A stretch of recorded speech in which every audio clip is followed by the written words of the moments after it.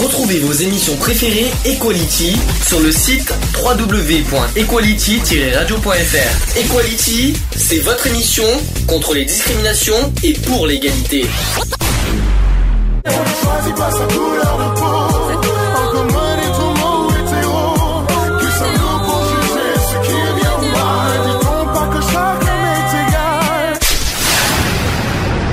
L'union fait la force.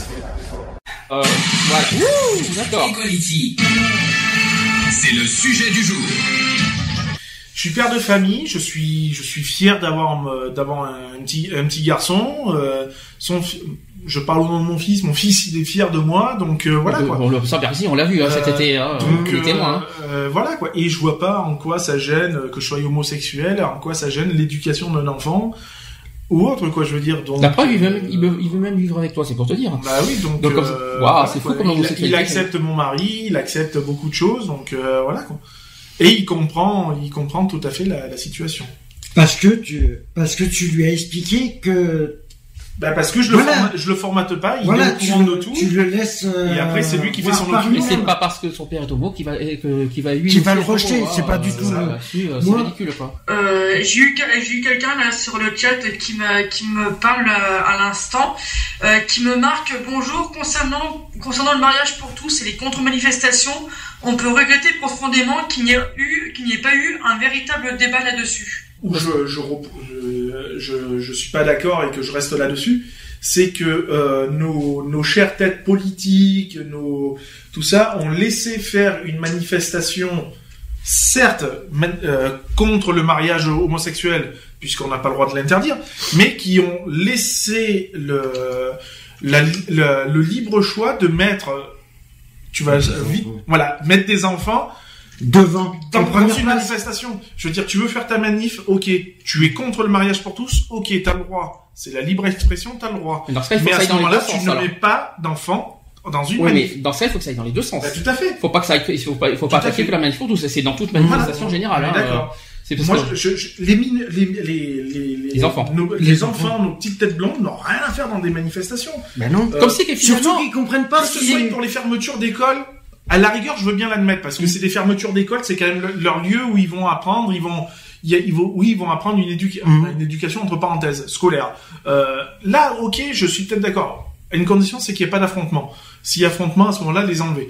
Euh, mais dans des manifestations qui les concernent pas du tout, qui concernent que des, des, des histoires d'adultes, euh, les enfants n'ont rien à y faire, quoi. Mhm. Et c'est ce que je regrette, c'est que euh, ben, personne ait, ait réagi par rapport à ça aussi, quoi. pour moi le, le Pax euh, a été euh, inventé pour pour nous et euh, quand tu regardes voilà c'est euh, pour moi je trouve que c'est euh, que c'est dégueulasse par rapport à nous mais bon et le mariage, Euh, le, le mariage, quand, euh, quand le mariage a été accepté, j'étais super contente, mais ça fait pas de moi quelqu'un qui va vouloir me marier. d'accord. Voilà, je, je trouve ça super bien et tout ça. Pour moi, c'est une forme d'égalité. T'es content pour les autres, mais c'est pas pour toi. Voilà. Le sujet sur les discriminations. Ça, c'est la tradition de l'émission. Chaque rentrée, on parle de, de discrimination. Rappelons ce que sont les discriminations. Qu'est-ce que c'est que discriminer? Alors là, c'est la question qui tue. J'adore, j'adore, j'adore le faire ce petit piège à chaque fois. Est-ce que discriminer, est-ce que juger, c'est discriminer Ah oui, tout Non, Mais si, mais justement, mais non. Porte un jugement, Ah bah, tu automatiquement.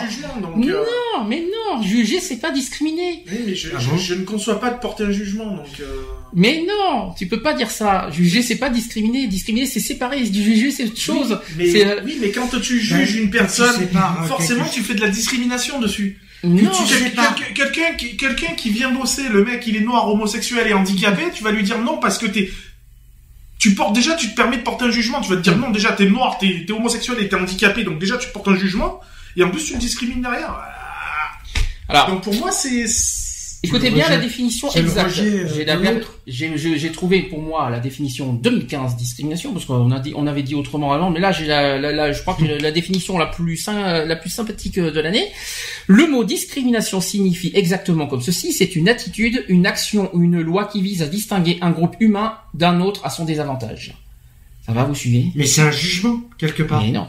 Mais si, puisque tu tu sais tu sépares deux personnes par On peut exemple. pas dire tu- ça. La le jugement, le jugement est la cause de la discrimination, mais c'est pas, c'est pas une discrimination le jugement. Le jugement, c'est la cause. La conséquence, c'est quoi? C'est Ah l'exclusion de la discrimination. Euh, Le jugement, c'est une cause de discrimination. C'est pas la discrimination en elle-même. C'est que l'exclusion, Bah, c'est une, moment- c'est une tu conséquence. portes jugement, tu discrimines la personne. Oui, automatiquement. mais c'est une cause. que Mais tu c'est pas discriminer. C'est pas dans le sens, c'est pas dans le sens propre Bah, du c'est terme. assez complémentaire quand même. C'est complémentaire, oui, mais c'est pas, mais c'est pas dans le dans le sens, c'est euh, dans le sens euh, littéral, quoi. Oui. Oui, enfin, ouais. Ça va Tu suis le Oui, cheminement oui, oui, oui, c'est complexe, mais oui, oui. Donc, dans le domaine social, parce qu'il y a autre chose. Dans le domaine social, la discrimination, c'est la distinction, l'isolement, la ségrégation de personnes ou d'un groupe de personnes. Il n'y a pas le mot jugement, excusez-moi du peu. Hein. Euh, la ségrégation de personnes ou d'un groupe de personnes par rapport à un ensemble plus large.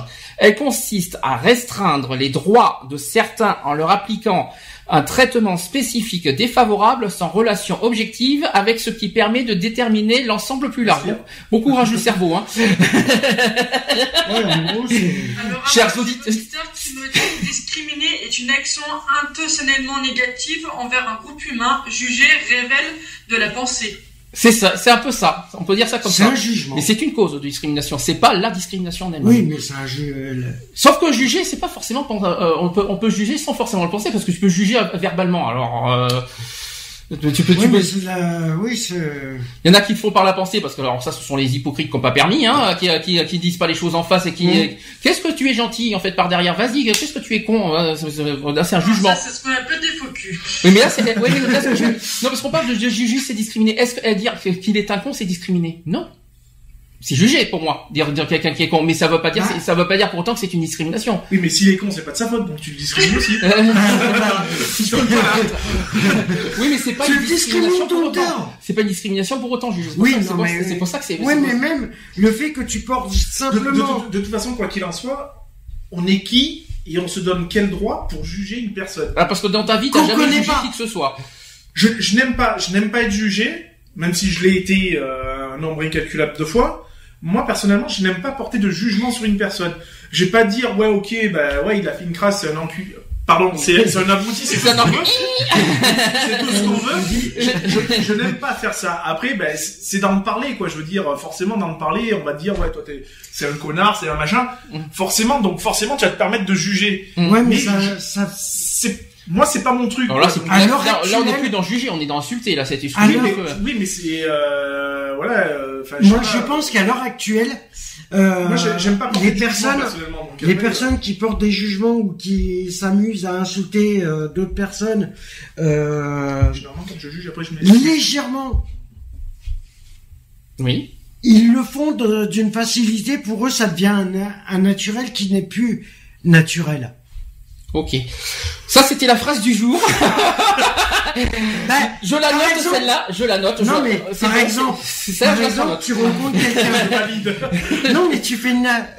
C'est comme tu juges une apparence, comme tu juges quelque chose. Alors là, tu, oui, mais tu juges une apparence. Oui, tu peux juger une apparence. Est-ce que tu, mais est-ce que tu discrimines pour autant? Ah oui. Parce Alors que oui tu- et non. Parce que tu réfléchis. C'est une forme de rejet la discrimination. Mais tu peux juger sans forcément rediscriminer. Ça veut dire sans séparer, Bah, sans te, sans automatiquement, tu vas, tu vas juger. Par exemple, je te, je te dis plein de choses, je te juge, je te traite de tous les noms. Est-ce que je te discrimine pour autant? Bah euh, oui. Ah non, t'es encore, encore là. alors. Je le prends comme une discrimination. Je Non, c'est pas une discrimination. Pas- Par exemple, parce que on se connaît, on se connaît bien, d'accord? Mais une personne que tu connais pas, comment tu peux te permettre de moi, le pas, juger? donc, Non mais Mais tu le penses. Mais Merci. ça, vas-y. tu peux penser par rapport ah bah elle est mal habillée parce que Ah non, ça, machin non, je ou machin. je parle pas de tu peux tu peux pas te permettre, tu la connais pas la Non, Tu personne. n'as pas compris. C'est- pas dans le sens veste. Le jugement vi- vi- visuel ou verbal n'est pas toléré est une discrimination. non, non, non, est une la- conséquence- La discrimination. Est une conséquence à la Non, discrimination. le jugement et la discrimination est la conséquence du jugement. Je suis désolé, mais c'est pas, mais le jugement n'est pas une discrimination. Bah, Bon, on va pas y revenir sans s'étendre là-dessus. Voilà. En tout cas, je maintiens ta phrase, elle était sympa celle-là. Ça fait mal à la tête. hein. Ça fait un bon- naturelle Oui, mais on revient, c'est bon. Le naturel n'est pas naturel. Ah, On va revenir Ah là-dessus. oui, hein. c'est logique. C'est Non, c'est parce que si tu pars comme ça, parce que si tu sais ce que je sais pas forcément ce que Oh là là, allez, oh là là, allez, oh là là, oh là là, pauvre cerveau. Non mais bon voilà. Je viens d'avoir encore, euh, encore euh, comment un petit mot sur euh, de notre euh, auditeur sur euh, sur le chat. Il marque tu peux juger sans porter atteinte aux droits d'autrui. Discriminer, c'est porter atteinte aux droits d'autrui. Ah, Bah, si, juger, c'est porter à... à juger. Ah oui. Bah, juger, c'est aussi, c'est À porter juger, atteinte à autrui, bien sûr c'est aussi. une discrimination. Alors là, je- oui, moi non plus, je suis pas d'accord. Juger, c'est aussi porter Ah atteinte oui. à la personne. Je crois que même oui, juger, c'est pire que discriminer. Hein. Ah, je- je- je- euh, moi, je préfère 100 fois qu'on me, Discrimine quand on me juge, discrimine que Ouais, me juge. Parce que moi si aussi, tu hein. me juges, je te rentre dedans. Ah, mais comme moi, pas... Alors moi, je, tu sais comment je suis aussi. Hein. Vois. Bah, discriminer, tu t'en Mais fous. c'est les deux, Tu t'en fous. Tu peux, tu peux même être discriminé sans que tu le saches, euh, Charlotte. Donc tu sais, Mais de tu toute t'en façon, fous. on l'est. hein. Mais par contre, juger, euh, c'est c'est autre chose, parce que jugement, c'est grave, hein, par contre. hein. Alors là-dessus, je- là-dessus, je suis méchant, hein, par contre. hein. on Enfin, ça, c'est mon opinion personnelle. Je n'aime pas, euh, euh, je n'aime pas porter de jugement. Et si je le fais, euh, c'est euh, souvent sous le coup de la colère ou d'un truc comme ça. Et à ce moment-là, bon, bah après, je me réveille et je pré- présente mes excuses parce que je suis quelqu'un qui ne juge pas. Mhm. Euh, je n'aime pas être jugé, donc je me, euh, moi, on m'a toujours dit un truc, c'est ne fais pas aux autres ce que tu n'aimerais pas qu'on te fasse. Exactement. Donc, euh, je n'aime pas être jugé et je et je, je, je ne peux pas admettre de juger une personne. Donc euh, voilà. Et encore moins de la discriminer. D'ailleurs, en parlant de juger, j'ai oublié, de- j'ai oublié carrément d'annoncer que monsieur, il y a Tournevis en face de moi, là. bah oui. J'ai oublié de dire carrément qu'on, qu'on l'a- qu'il a, qu'il a, qu'il a gagné un grade, hein, monsieur, euh. Moi, monsieur j'ai en pris du face. galon, ouais. Il a pris du galon, mais il était, euh, il, oui, parce que pendant trois ans, t'étais secrétaire adjoint. Mhm. Et là, maintenant, qu'on est passé conseiller, vice-président. t'es passé vice-président. Donc, t'es mon tournevis, en quelque sorte. Toi, t'es la vis et je moi, je suis le t'appelle- tournevis. Je t'appelle la plus Lionel, mais tournevis. non, toi, tu es le vice. Moi, je suis ton, tour- je suis ton tournevis. C'est-à-dire, je tourne les vis, tu sais, je le, je le vis ça bien à fond, là. Je t'ai cloué, hein. Oui, non, pas du tout. donc, euh, donc, Sandy, ce sera Oui. tournevis 1 et Lionel tournevis 2. C'est pas grave, c'est, c'est une petite fordue. Et moi, je suis le boulon. Et, et Et non, moi, je suis le boulon. Alors, euh, on n'est pas, alors, on, pas dans la bonne émission, c'est pas le top 50, hein, euh, donc, Je suis pas le petit clou. moi, je suis le boulon. Le petit clou, des petits clous, non, pardon. Parce qu'on perd facilement le boulon. Non, mais c'est pas, c'est vrai que j'ai oublié, j'ai oublié carrément de te, de- d'annoncer que, parce que tout le monde ne savait Tu- pas, tu qu'il y a eu euh, ce changement cet été, Mm. effectivement, qu'il y a eu, que t'as Ah, gagné un du galon. fait euh, de, de la- du changement de, De de, la situation. de, de, de, de statut. Donc, félicitations, monsieur. Merci. C'est bien, hein, ça fait, ça fait quel effet qui se coule Ils s'en fichent Ça complètement. Ça n'a pas Ça changé change ma pas grand chose. Non, mais comme je dis, ça n'a pas changé. Ça, ça, moi, personnellement, ça m'a pas changé. Ça change pas mes combats. Ça, ça change pas ma, ma façon de penser. Donc euh, voilà. Mm. Ça me donne peut-être euh, si un peu plus de pouvoir. c'est tout. Quoi. Ouais, t'as raison, le tournevis c'est toujours là pour, euh, hein Lionel, j'ai juste une question, j'ai juste un truc à te dire, c'est que Monsieur le Président, c'est l'heure du bilan. Oh non, quelle horreur. Donc déjà, déjà que j'ai eu, tout- j'ai eu droit à tout hein, cet été, entre Monsieur le Président, Papy, etc. euh, J'ai eu la totale. Hein, euh. Non mais je sais que c'est pas toi, mais bon, c'est- c'est bon, j'ai eu la totale cette année. Hein. Et c'est- j'ai pensé très fort, j'avoue. Bah voyons, je m'y je m'y attendais un peu, tiens. Et ça, c'est quoi? C'est juger ou discriminer C'est les deux. Merci pour cette bonne question que Non, j'ai- franchement, c'est les deux. Ça tient les deux. C'est pas jugé pour moi, c'est taquiné. C'est pas porter un jugement. ouais. C'est taquiné, ça, C'est- pour moi. Oui, voilà, c'est plus du, du, être taquin qu'au- qu'autre chose. quoi. Ouais, mais Et puis c'est, ça reste gentil, quoi. Je veux dire, il y a pas de mauvais, il y a pas de mauvaise pensée derrière. non. Après c'est vrai que je déteste qu'on m'appelle Monsieur le Président parce que je déteste utiliser mon grade, donc euh, je préfère Ouais, rester moi-même. président, bien sûr. C'est un camembert. Hein, quoi Tu disais Charlotte T'es sûr Tu vas avoir ta fille, c'est Charlotte. Attention, hein, on- euh, je suis pas si loin que ça. Attention, hein. attention, j'arrive à Annecy, c'est pas loin maintenant. hein. C'est, je suis pas à Bordeaux là. hein. Attention. hein. Bref, Alors, T'as au moins 3 heures de route, quand même. hein. c'est pas grave. Je demanderai à Lionel qui euh, qui m'emmène. Au cul. Bon, la discrimination, revenons là-dessus, c'est en tant que différenci- différenciation entre individus ou groupes après des critères particuliers, on arrivera après là-dessus, induit un traitement euh, inégalitaire des personnes renforcé par les coutumes, voire par les lois d'une société donnée. Bon courage les cerveaux. Hein. Euh, le terme discrimination est marqué par une connotation négative, c'est ce qu'a dit l'auditeur il n'y a pas longtemps, dans les sociétés démocratiques qui mettent le principe d'égalité au centre de leurs valeurs. Jusque-là, vous suivez. Combien y a-t-il de discrimination 21. Perdu. Il y en a 20. Il y en a 20. 20, Pourquoi oui. 21 Du 21 Parce qu'on espère une 21e. Oui, on, on- espère la 21e. on se bat pour faire pour, pour, Moi, faire je reste euh, basé pour la sur 21e. 21, Bah, pour nous, il y en a 21. Parce qu'elle est, elle est, elle est, elle est d'actualité, donc euh, de toute façon, euh, elle est d'actualité. Donc pour moi personnellement, même si elle n'est pas ren- entrée euh, légalement, on va dire, dans le. Et pourtant, dans, en Europe, il y en a 21. dans, dans le Ouais. cercle, euh, pour moi, elle existe quoi. Et en Europe, il y en a 21. 21. Il y en a 21 en Europe. C'est qu'en France qu'il y en a que 20. Donc euh, voilà, euh, pour moi, il y en a 21 et ça s'arrête là quoi. En France, 20, en Europe, 21. Et vous savez laquelle il manque? Euh, je me rappelle plus laquelle c'est la on, dernière. a, on, s'en met- on a même fait l'année dernière un combat Ah, là-dessus. le vivant. Euh... Non, non, non, non, Non. non, ça c'est peut-être c'est fatigué. Oula euh, D'accord. C'est la condition sociale. Oui, voilà la condition. sociale. C'est la condition. C'est-à-dire, si vous préférez, euh, les gens qui vivent en dessous de, du seuil de pauvreté. de pauvreté, qui va Voilà. dire les- qui sont discriminés euh, lors du travail pour le- sur leur, euh, euh, le, le fait qu'ils ont cette situation Oui, donc voilà, donc pour moi, même Et si le elle, Les minima sociaux, si, elle n'est pas reconnue en France euh, et qu'elle est en Europe, pour moi, elle, elle est quand même, elle est quand même d'actualité. Donc pour moi, je, je peux pas concevoir qu'on puisse dire qu'il y en a que 20 quoi. D'accord. Puisqu'on vit tous les jours avec, donc. Euh, Et attention, la question qui tue. Citez-moi les 20 discriminations. Alors, je vous rassure, je les ai pas devant moi. Oui, Il y a la santé, y a la race, L'origine ethnique. l'ethnie, euh, tout ça. Ouais. Alors ça, c'est Il compliqué. il y a la religion, la, ouais. La religion, oui. il y a L'orientation sexuelle aussi. Ah oui, l'orientation sexuelle, il y a le. euh, la couleur. La couleur. Les... La couleur de peau. hein. Oui, c'est... La- oui. La couleur. La couleur, ça n'y est pas. ça- la couleur, ça n'y est pas la couleur. hein. Non, c'est c'est l'ethnie. C'est C'est l'ethnie, oui. C'est l'ethnie. La race Le aussi. handicap, on fait partie ou Bien sûr. Oui, oui. Le handicap et la santé, c'est deux, euh, c'est deux euh, discriminations à part. Le logement. Non. Le logement. Si, la maison, la, la, le, notre logo. Avec Ah, le lieu de résidence. Voilà, Oui, le- le, le- logement, le- non. le- euh, enfin, moi, j'ai appelé, je, je dis ça de logement parce que Euh, Il y a par rapport au nom, euh, par rapport Le patronyme au patronyme. patronyme. Alors ça, c'est pas commun. euh, Oui, c'est ça. Bon, c'est sûr que Le monsieur et madame. Connard, euh, voilà, malheureusement, euh, je les plains, quoi. Ces, ces genres de choses, ces, Euh, ces pauvres personnes. euh, c'est, excusez-moi pour les personnes. La qui- famille? Non. La famille, non, ça n'existe pas. Le travail. je les travail non plus. Non, le travail, non, c'est, non, le travail, c'est non du tout. C'est que c'était discriminé dans le travail, mais pour des critères euh, donnés. Alors, bien sûr, il y a le sexe, l'égalité des sexes, hommes-femmes, etc. Mmh. Il y a l'orientation sexuelle, le- la santé, le handicap, l'origine. Je sais pas sur moi. Imaginez le truc. Hein. L'origine, il y a l'ethnie, il y a la race. Alors, c'est ça qui est bizarre. L'ethnie, et la race, c'est différent. Oui, mais c'est, ça se rapproche. C'est ça qui est, C'est ça qui est bizarre. La nationalité, ça, il faut, ça en fait partie. La résidence. Le lieu de résidence, mais ça, c'est ça, c'est vraiment le dernier truc bizarre. Hein, mais, il y a- Franchement, je vois pas. il y en la a- différence d'habiter en maison et dans un HLM. Bon, Il y en a même un autre que je comprends pas, c'est euh, au niveau des, euh, des ADN. oui. Bon, ça, j'avoue que c'est un peu spécial. Euh, la politique, le- le- le- les opinions politiques, les opinions religieuses, Mhm. ça fait partie de la discrimination. Euh, j'ai- alors, j'ai pas les 20 en J'en ai tête. douze. Non, je les ai, moi. Euh, J'en ai 12 C'est les là. J'en ai plein, il y en a plein. L'orientation sexuelle, on l'a dit. Il y a le sexe, les origines.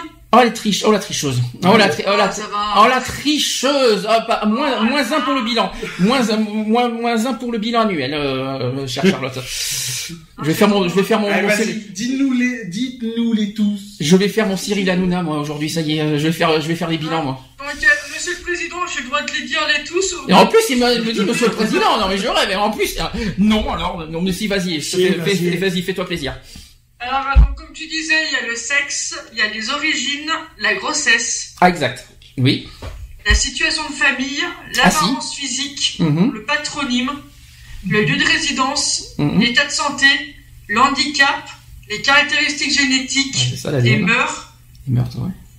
l'orientation sexuelle, l'identité sexuelle, ah l'âge, oui explication Mhm. Identité sexuelle, Et non, ça, on expliquera après pourquoi la, la différence entre orientation sexuelle et identité Ah sexuelle. oui, Vous allez comprendre pourquoi. a Continue. les Oui. opinions politiques, Oui. activités syndicales, appart- appartenance ou non appartenance, vraie ou supposée à une ethnie, à une race, Mm. à une religion, et appartenance ou non appartenance, vraie ou supposée à une nation. Ah oui, la, la nationalité. Quoi. Voilà. Alors, euh, vous- euh, justement, l'orientation sexuelle et l'identité sexuelle, c'est quoi la différence? Bah, l'orientation sexuelle. Je vais vous donner un, un truc très facile. Je vais donner, je vais, je vais vous donner, je vais vous donner le- le- l'exemple le plus facile. le- le- enfin, c'est pas évident. Sur les trans, par exemple. L'orientation sexuelle, c'est quoi? Chez les trans. si- si- Euh, attends, quoi, chez les trans? Oui, euh, être L'orientation sexuelle chez les trans, c'est transsexuel. La- L'identité du genre, c'est la transidentité. Ça va, Ah vous oui, suivez se sentent plus femmes que, que. Que- Voilà. ça, c'est C'est- la c'est pas la- transidentité. La et, transidentité n'est pas une orientation sexuelle, c'est une identité C'est du le genre. transgenre alors, la- l'identité sexuelle. Pardon? C'est le transgenre. Transgenre, c'est une identité sexuelle. Exactement. Ouais, ouais. Il y a six genres aussi, par exemple, et ça, c'est l'identité du genre. L'orientation sexuelle, c'est homosexuel, hétérosexuel, Euh, Bisexuel. bisexuel, et euh, il y a, il y a- attention, il n'y en a que quatre. T'as la Cisjordanie aussi. Euh, Cisjordanie. enfin, Il y, a, il y a quatre, parce que homosexuel, c'est homme et femme, donc c'est pareil. Euh, hétérosexuel, bisexuel et transsexuel. Il y a, rien d'autre. Il n'y a pas transgenre. Transgenre, c'est fait, c'est, c'est pas du tout une orientation sexuelle. C'est une identité, ça. C'est, une, c'est l'identité du genre. Voilà, C'est une comme, identité comme, comme Lionella, quoi. C'est. Elle a été Une identité. une, une identité, voilà, Voilà. c'est ça. Hmm. C'est au cas où si les gens ne, ne savent pas ce qu'est la différence entre les deux, on sait jamais. On est d'accord? Hmm. Tout à fait. Donc j'ai les chiffres 2015 de, des discriminations. Euh, donc selon une étude en février 2015, un tiers des demandeurs d'emploi ont été victimes de discrimination à l'embauche et plus de la moitié d'entre eux de façon répétée. Selon une enquête menée par le défenseur des droits. D'après vous, quel est le premier alors 2015, hein, le premier facteur, le premier critère de discrimination à l'embauche en 2015 Alors là, ça va être une surprise. Vous allez voir que c'est une surprise. Enfin oui et non. C'est pas c'est pas forcément une surprise, mais c'est pas C'est par rapport aux moyens de. Rappelez-vous des 20 discriminations qu'on a C'est dit la- la- l'apparence physique. Non. Non. Perdu. La race. Non plus. La, la race, on en parlera tout à l'heure avec la race blanche. Hein, euh. Euh, c'est l'ethnie. Non plus. Ah bon? Et non. La religion? Non plus. C'est l'âge. Ah bon Ah Et oui. Premier facteur de discrimination dans- à l'embauche, c'est l'âge. Ah bah oui, je devrais le savoir. Avec Oui, parce que plus t'es âgé, plus ça, ça coûte cher ça à peut, être l'employeur. inversé, ça peut être inversé aussi. Hein. Ça, ça peut aller dans, dans les deux sens. Plus hein. t'es jeune, euh, ouais, Oui, quand selon. tu demandes Est-ce une que vous- formation et quand on te dit, mais vous êtes trop vieux. Est-ce que Ouais. écoutez bien la phrase, vous allez voir, ça- vous allez être choqué de ce que je vais vous dire. 88% des demandeurs d'emploi estiment qu'être âgé de plus de 55 ans accroît le risque de discrimination à l'embauche. À l'embauche. 88%, ça fait très Oui, mal. bah oui. Tu Ça dépasse- de toute façon, je vais te- Body, c'est le, c'est comment l'internaute qui me l'a dit. Non, il n'est plus, euh, dans- il n'est plus Dominique Baudis, il est décédé malheureusement. Oui. Ah. C'est Euh, son... Oh, je vois qu'il y a des gens qui sont pas du tout à jour. Dominique Baudis est malheureusement décédé l'année dernière. On, Ouais. on en a fait un hommage, je m'en souviens l'année dernière avec ATD. Mhm. Euh, Que je regrette énormément parce que c'était un grand homme et euh, que je que je rends encore hommage. Euh, faut- Euh, ensuite, deuxième facteur d'après vous, après le- après l'âge. Alors là, c'est logique. On est toujours dans le domaine emploi. C'est Le moyen de locomotion. non. Alors là, c'est là que vous allez être très déçu, c'est que l'orientation sexuelle est très loin. Il L'apparence n'est pas physique. du tout non plus. L'apparence physique euh, n'est étant, n'est, oui, l'apparence physique, euh, on va dire en quatrième position. Alors je vais, alors je vais vous donner parce que ça va vous, ça va vous surprendre. Ouais, parce que... Première position, donc l'âge avec 88%. Deuxième position, être enceinte. La grossesse avec 85%. Troisième position, le le style vestimentaire Oui, c'est la... avec c'est l'apparence. 81%. Quatrième position, et là j'avoue que c'est que je pensais que c'était beaucoup plus dans, dans les premiers, c'est l'obésité avec 75%. Le handicap avec 77%. C'est un PIV quand même. Euh, voilà. Euh, et après les origines. Alors il y a deux tiers des victimes d'origine étrangère, c'est-à-dire 64%, déclarent aussi que la discrimination était fondée sur leur origine, soit trois fois plus qu'au sein de l'échantillon global, c'est-à-dire 20%, où l'âge est le premier critère cité, c'est ce qu'on a dit. Et, et ils mentionnent également plus souvent les convictions religieuses avec 32%, Mmh. et lieux de résidence. euh, lieux- les lieux, les lieux de résidence quand même 21%. hein. Oui. Ça, c'est ça, c'est. Alors, on sait pourquoi parce que euh, si on, quand on habite dans un dans un quartier du genre euh, les HLM, adresse- tout ça, ben ça porte Ou préjudice que aussi. t'as une adresse postale, c'est considéré Aussi. comme, euh, voilà. Tout à fait, abso- absolument. Mais ça fait partie de, de- des lieux de résidence. Ouais. Euh, ensuite, euh, à la suite d'une discrimination à l'embauche, un peu plus de 4 personnes sur 10 a- ont, ont- ont abandonné leur euh, recherche d'emploi, avec 43%. Seuls 15% ont entrepris des démarches pour faire reconnaître la discrimination. C'est faible. hein. Globalement, plus de 8 demandeurs d'emploi sur 10, c'est-à-dire 85%, jugent que le risque de discrimination à l'embauche est accru par le contexte de crise économique et de chômage. Ça n'a rien à voir. L'enquête sur la perception des discriminations dans l'emploi réalisée pour le défenseur des droits et l'Organisation internationale du travail montre que 34% des demandeurs d'emploi estiment avoir été euh, discriminés dans le cadre de leur recherche d'emploi, c'est-à-dire 19% de façon répétée. L'inégalité euh, de traitement a lieu au moment de la réception du CV, Parce que ça, vous, on est d'accord, tout le monde est d'accord là-dessus. Et aussi de son examen, c'est-à-dire que 54% des plus de, c'est- il y a 54% et quand même plus 26 points par rapport à l'année dernière. Ça a augmenté. euh, 26 points de- d'augmentation, hein, ça, ça fait beaucoup. Hein. Concernant le, le- il y a aussi euh, lors de l'entretien d'embauche, avec 64%, 64%, 74%, une augmentation de 10 points en un an. C'est pas- c'est plus des mauvaises nouvelles que je vous annonce. Hein. Ah, mais ça. euh, Et aussi, et ça, ça, je sais pas si ça va vous concerner, et aussi par rapport pour accéder à une formation, Mhm. euh, ça concerne 42% avec une augmentation de 21 points en un an. Ça fait beaucoup. Hein. Les actes antisémites ont augmenté de 91% Au cours des sept derniers, derniers mois. Vous savez, avec les attentats Ah de, de Charlie Hebdo, hein, on Ouais. fallait s'y attendre aussi. Ben, il n'y Euh, a, pas eu que les attentats de et, Charlie euh, Hebdo, il y a eu ceux qu'il y a eu récemment là. Ça a augmenté de 91% au cours des sept derniers mois de l'année 2014, selon des statistiques recueillies auprès de- du ministère de l'Intérieur. Le nombre de signalements d'actes homophobes, on va revenir sur l'homophobie maintenant. Euh, les signalements hom- d'actes homophobes, euh, selon le, le- le Ah, bilan de SOS homophobie qu'ils ont fait, euh, ils, vous savez qu'ils font chaque année, ils font les- le bilan, euh, a augmenté de 78% entre 2012, en- entre 2012 et en 2013. Alors, ça va, vous suivez l'année de la, de la loi Taubira. Donc on y revient un petit peu sur le mariage pour tous. Les chiffres pour l'année 2014 sont moins catastrophiques pour ceux de, que ceux de 2013, mais ils démontrent l'enracinement de l'homophobie en France. L'association donc SOS Homophobie a recueilli 2197 témoignages en 2014. Cela représente une baisse de 38% par rapport à 2013, année record où elle dénombrait 3517 témoignages. Ça c'était 2013. Mais 2197 en 2014, c'est beaucoup. Ça reste, une- ça reste quand même le deuxième score le plus élevé Ah ben, de- des c'est 20 dernières énorme, années. hein. Ça devrait, euh, ça devrait même pas exister ce genre de. C'est le deuxième score, hein. c'est le deuxième, deuxième score, euh, on va dire historique euh, Mhm. 2014, hein, faut pas l'oublier. Donc le chiffre des agressions homophobes en 2014 reste quand même inquiétant. Les témoignages sont en recul de 14%, mais équivalent tout de même à une agression signalée tous les deux jours. Et là, ça fait réfléchir. hein. On note également en 2014 de grand nombre de signalements de comportements homophobes, beaucoup d'injures, mais également un grand nombre de rejets et de harcèlement. C'est pas nouveau, malheureusement, mais c'est toujours euh, d'actualité.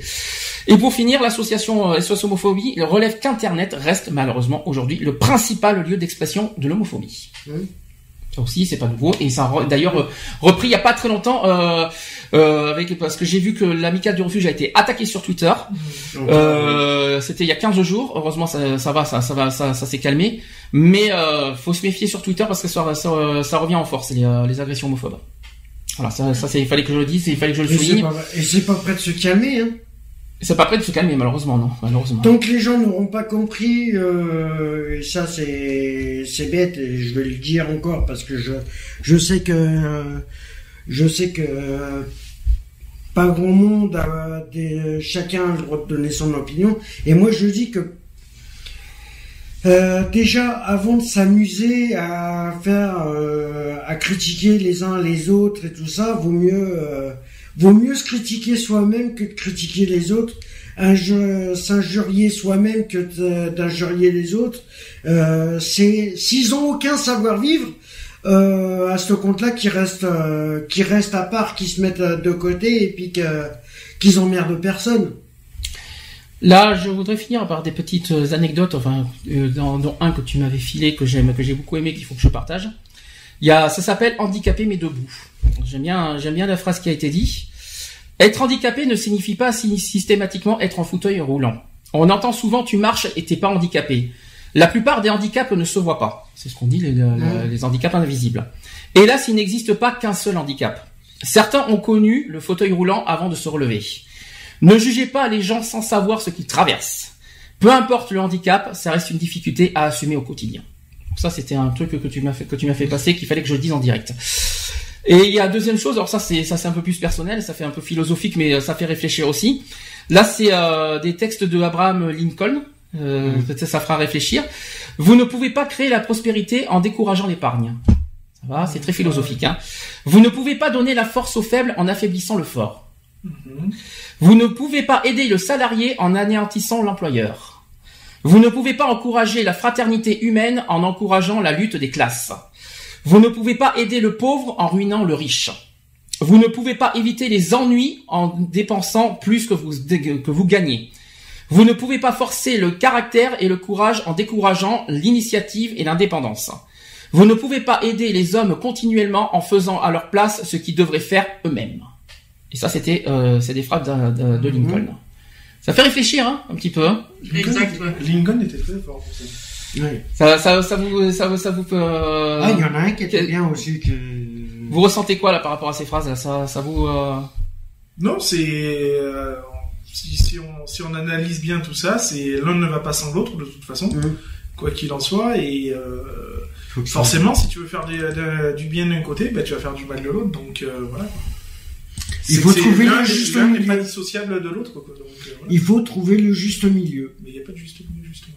Mais ouais, mais le problème, c'est que si chacun, Ça n'existera jamais ça. si, si chacun n'y met pas du sien, euh, ça ira pas. Le problème, il est là. C'est que chaque être humain, chaque, euh, voilà, chaque être humain doit mettre du sien, mettre, comme dirait, euh, comme dirait euh, plusieurs, mettre Pas de l'eau dans son vin. Hmm. Vaut mieux mettre de l'eau dans son vin que de, que de vider la citerne. Oh putain, aujourd'hui, je sais pas ce qu'il avait. je sais pas ce qui lui arrive par rapport à la saison précédente, mais ça y est, il nous sort de ses phrases, on sait pas d'où ça sort. Qu'est-ce qui t'arrive cette année? T'as décidé Non, euh, pour la voilà, nouvelle saison non, mais euh, voilà, euh, tout évolue. Oui, ça c'est sûr, Oui, mais... mais Non, mais le est- problème, c'est qu'il faut qu'on puisse, euh, il faut qu'on puisse euh, agir sans que, sans que ça nous retombe dessus. Alors moi j'ai l'in- l'internaute qui nous dit qu'il applaudit toujours ce discours de Lincoln. Ah ben ça- moi personnellement j'avais besoin de le transmettre parce que je trouve Ouais. ça tellement fort comme, euh, comme phrase. magnifique, ouais. Et euh, C'est bien tourné. je voudrais qu'on reparle un petit peu de la discrimination en sens euh, du voilà au sens Au sens large. large du terme, euh, notamment définition et tout ça, mais je vais vous poser en, des questions en, sous forme de quiz. Ça va être génial ça. Oh ouais. Alors, pour vous, qu'est-ce que que signifie le mot discrimination? D'abord, euh, est-ce que vous voulez les répondre ou- est-ce que vous voulez vous voulez répondre cash? On va faire un petit peu à la au mode tout le monde veut, veut prendre sa place. Du haut, ou carré ou cash? Non? Est-ce que vous Euh, voulez les réponses? Cash, je m'en sortirai plus. Ok, Charlotte? Je prends le carré. Tu vas prendre carré. Donc alors oui, j'ai pas de carré hein, mais euh, j'ai j'ai que trois réponses. Alors première réponse, c'est le fait d'avoir mauvaise vue. Deuxième réponse, c'est le fait de distinguer une personne de manière injuste. Ou troisièmement, c'est le fait de ne pas manger à sa faim. Deuxième. C'est simple, c'est simple, hein, franchement. euh, là, je vous, là, je vous ai fait un peu cadeau quand même. C'est le fait effectivement de distinguer une personne de manière injuste. Alors, on parle de distinguer, mettre à l'écart. Alors, il y en a plein qui se disent que discriminer c'est juger. Or que c'est pas du tout le cas. Discriminer c'est une action, effectivement, pour le- dans le, le fait de mettre à l'écart une personne, de distinguer, même de de dissocier, voilà, pour- du fait, euh, par exemple, euh, le fait qu'il soit euh, gros, le fait Oui, qu'il et soit- même de l'isoler, hein, d'ailleurs. Alors pas l'isoler, non, mais vraiment le mettre à l'écart en fait. C'est plus euh, une mise à l'écart que, que l'isoler en fait. Il y en a plein qui qui euh, qui comparent avec le jugement, tandis que je vais vous dire la différence euh, entre le jugement et la discrimination. Le jugement c'est la cause de la, et la discrimination c'est la conséquence. Est-ce que vous voyez pourquoi? D'abord on juge et après on discrimine, tout simplement. Oui. Vous voyez le- la différence ou pas Oui, oui, oui. Bah, du moment où il y a jugement, il y a discrimination, de toute façon. Alors il y a jugement peut-être, mais la discrimination c'est le l'action de Oui. séparer une personne. Tandis que le jugement c'est euh, comment je peux vous donner un exemple euh, Un jugement, tiens, euh, tiens, euh, ça, je, suis- je suis désolé, on va, on va on va être cash euh, aussi cette année. Par exemple, ça le PD, ça c'est un jugement. Bien sûr. Et quelle, quelle est la conséquence? Ben je te mets à l'écart parce que tu es PD. PD. À savoir qu'attention, Mhm. PD ne veut pas dire Homosexuel. euh, je voulais le faire, je voulais, je homosexuel. voulais le dire à, la- à la télé. Hein. Je, tiens, je tiens à dire une chose, c'est c'est quelque chose que je voulais dire à la télé, j'y suis pas arrivé. Donc effectivement, PD ne veut pas dire homosexuel, ça veut dire Pédophile. Pédéraste. ou Pédéraste. Ou pédéraste, exactement. Allez, deuxième question. Qu'est-ce que la discrimination aussi, mais cette fois sous forme juridique? Alors, première réponse. Un, c'est un crime qui consiste à traiter de manière différente des personnes placées dans une situation comparable en se fondant sur un ou plusieurs critères interdits par la loi. Deuxième réponse, c'est un délit qui consiste à traiter de manière euh, différente des personnes placées dans une situation comparable parce qu'on les aime pas. Ou troisième réponse, c'est un délit qui consiste à traiter de manière différente des personnes placées dans une situation comparable en se fondant sur un ou plusieurs critères interdits par la loi. C'est pas facile, hein. Là, c'est pas évident. Et là, c'est le drame. D'abord, question, est-ce que c'est un crime ou un délit? Déjà, premièrement. C'est un délit. C'est un délit. Donc déjà, il y a une réponse en moins. Maintenant, maintenant, Je euh, dirais la dernière. et toi, Charlotte? Euh, J'hésite entre la 2 et la 3. Forcément, c'est les deux où il y a délit. Là, tu t'es pas trop foulé sur ce coup-là, Charlotte. Non, j'avoue. non, c'est effectivement le troisième. Voilà, c'est effectivement un délit qui consiste à traiter de manière différente des personnes placées dans une situation comparable en se fondant sur un ou plusieurs critères interdits par la loi. Ça, c'est le texte de loi. Mm. Voilà. La loi, c'est la loi qui dit ça. Est-ce que vous connaissez la loi? Vous vous rappelez du numéro du texte? Oh punaise, ça quand même. Alors, Lionel qui est depuis 4 ans dans l'association, donc il veut se foutre de ma gueule au niveau de la télé, mais je crois que je vais beaucoup me foutre de sa gueule aussi au niveau non, non, non, après, non, juridiquement parlant, non, je me rappelle pas du, du texte. Et du, et du Le numéro de texte. numéro 225-1 du code pénal. Ouais, non, j'en connais d'autres, mais pas celui-là. C'est de 225-1 en tout cas. Après il y a 200, il y a le tiré 2, tiré 3 et tiré 4 aussi. Et c'est en tout cas l'article 225 D'accord. du code pénal. Donc comme ça vous le savez. Et quel critère n'est pas interdit par la loi? Est-ce que c'est les diplômes, la situation de famille ou l'état de grossesse? L'état de grossesse, non? Non, c'est les diplômes. C'est les diplômes, l'état de grossesse, c'est un critère de discrimination, Charlotte. Et là, Charlotte aussi ne le savait pas. Tu savais pas que l'état de grossesse était un critère de discrimination? Je ne m'en rappelais plus. Alors déjà, je vais vous poser une colle aujourd'hui. Combien y a-t-il de discriminations maintenant reconnues en France? 21. Non. 22. Et C'est 22, exactement. Il y en a deux Ah, nouvelles discriminations. oui. Il y a deux nouvelles discriminations, on en parlera juste après le quiz. Ça a été dit tout à l'heure, t'avais qu'à suivre. C'est 22, effectivement. Mais t'arrêtes de et il a dit qu'il y avait deux nouvelles discriminations, donc forcément il y en avait 20, plus 2, ça fait 22. Alors aujourd'hui, je, voilà, je, je, la, je, je- voilà, ça y est, je me recrois à la télé, ça y est, super. La télé, euh, DC TV revient, revient. re- non, c'est pas ça. Mais effectivement, aujourd'hui, je, je l'affirme, il y a bien 22 aujourd'hui Reconnu. reconnus en France, hein, parce qu'il y a d'autres pays, il y en a plus. C'est plus délicat. Alors, autre question, mon voisin s'est fait injurier par le locataire du dessus qui est raciste. A-t-il subi une discrimination? Alors oui, euh, est-ce qu'il a, n'y a pas de discrimination? Ensuite, il n'y a pas de discrimination, c'est une autre infraction pour laquelle on peut porter plainte, ou il y a discrimination. Et là, Bah. et là, attention, Mais il lui a dit quoi? C'est une injure, C'est une injure, attention. une injure raciste. Alors, est-ce que pour vous il y a discrimination, Ah, ou pas Ou est-ce que c'est une autre fraude Il y a discrimination. Eh bien non, c'est une injure. L'injure, Ah c'est oui, pas une oui, oui, C'est une injure, c'est pas une discrimination.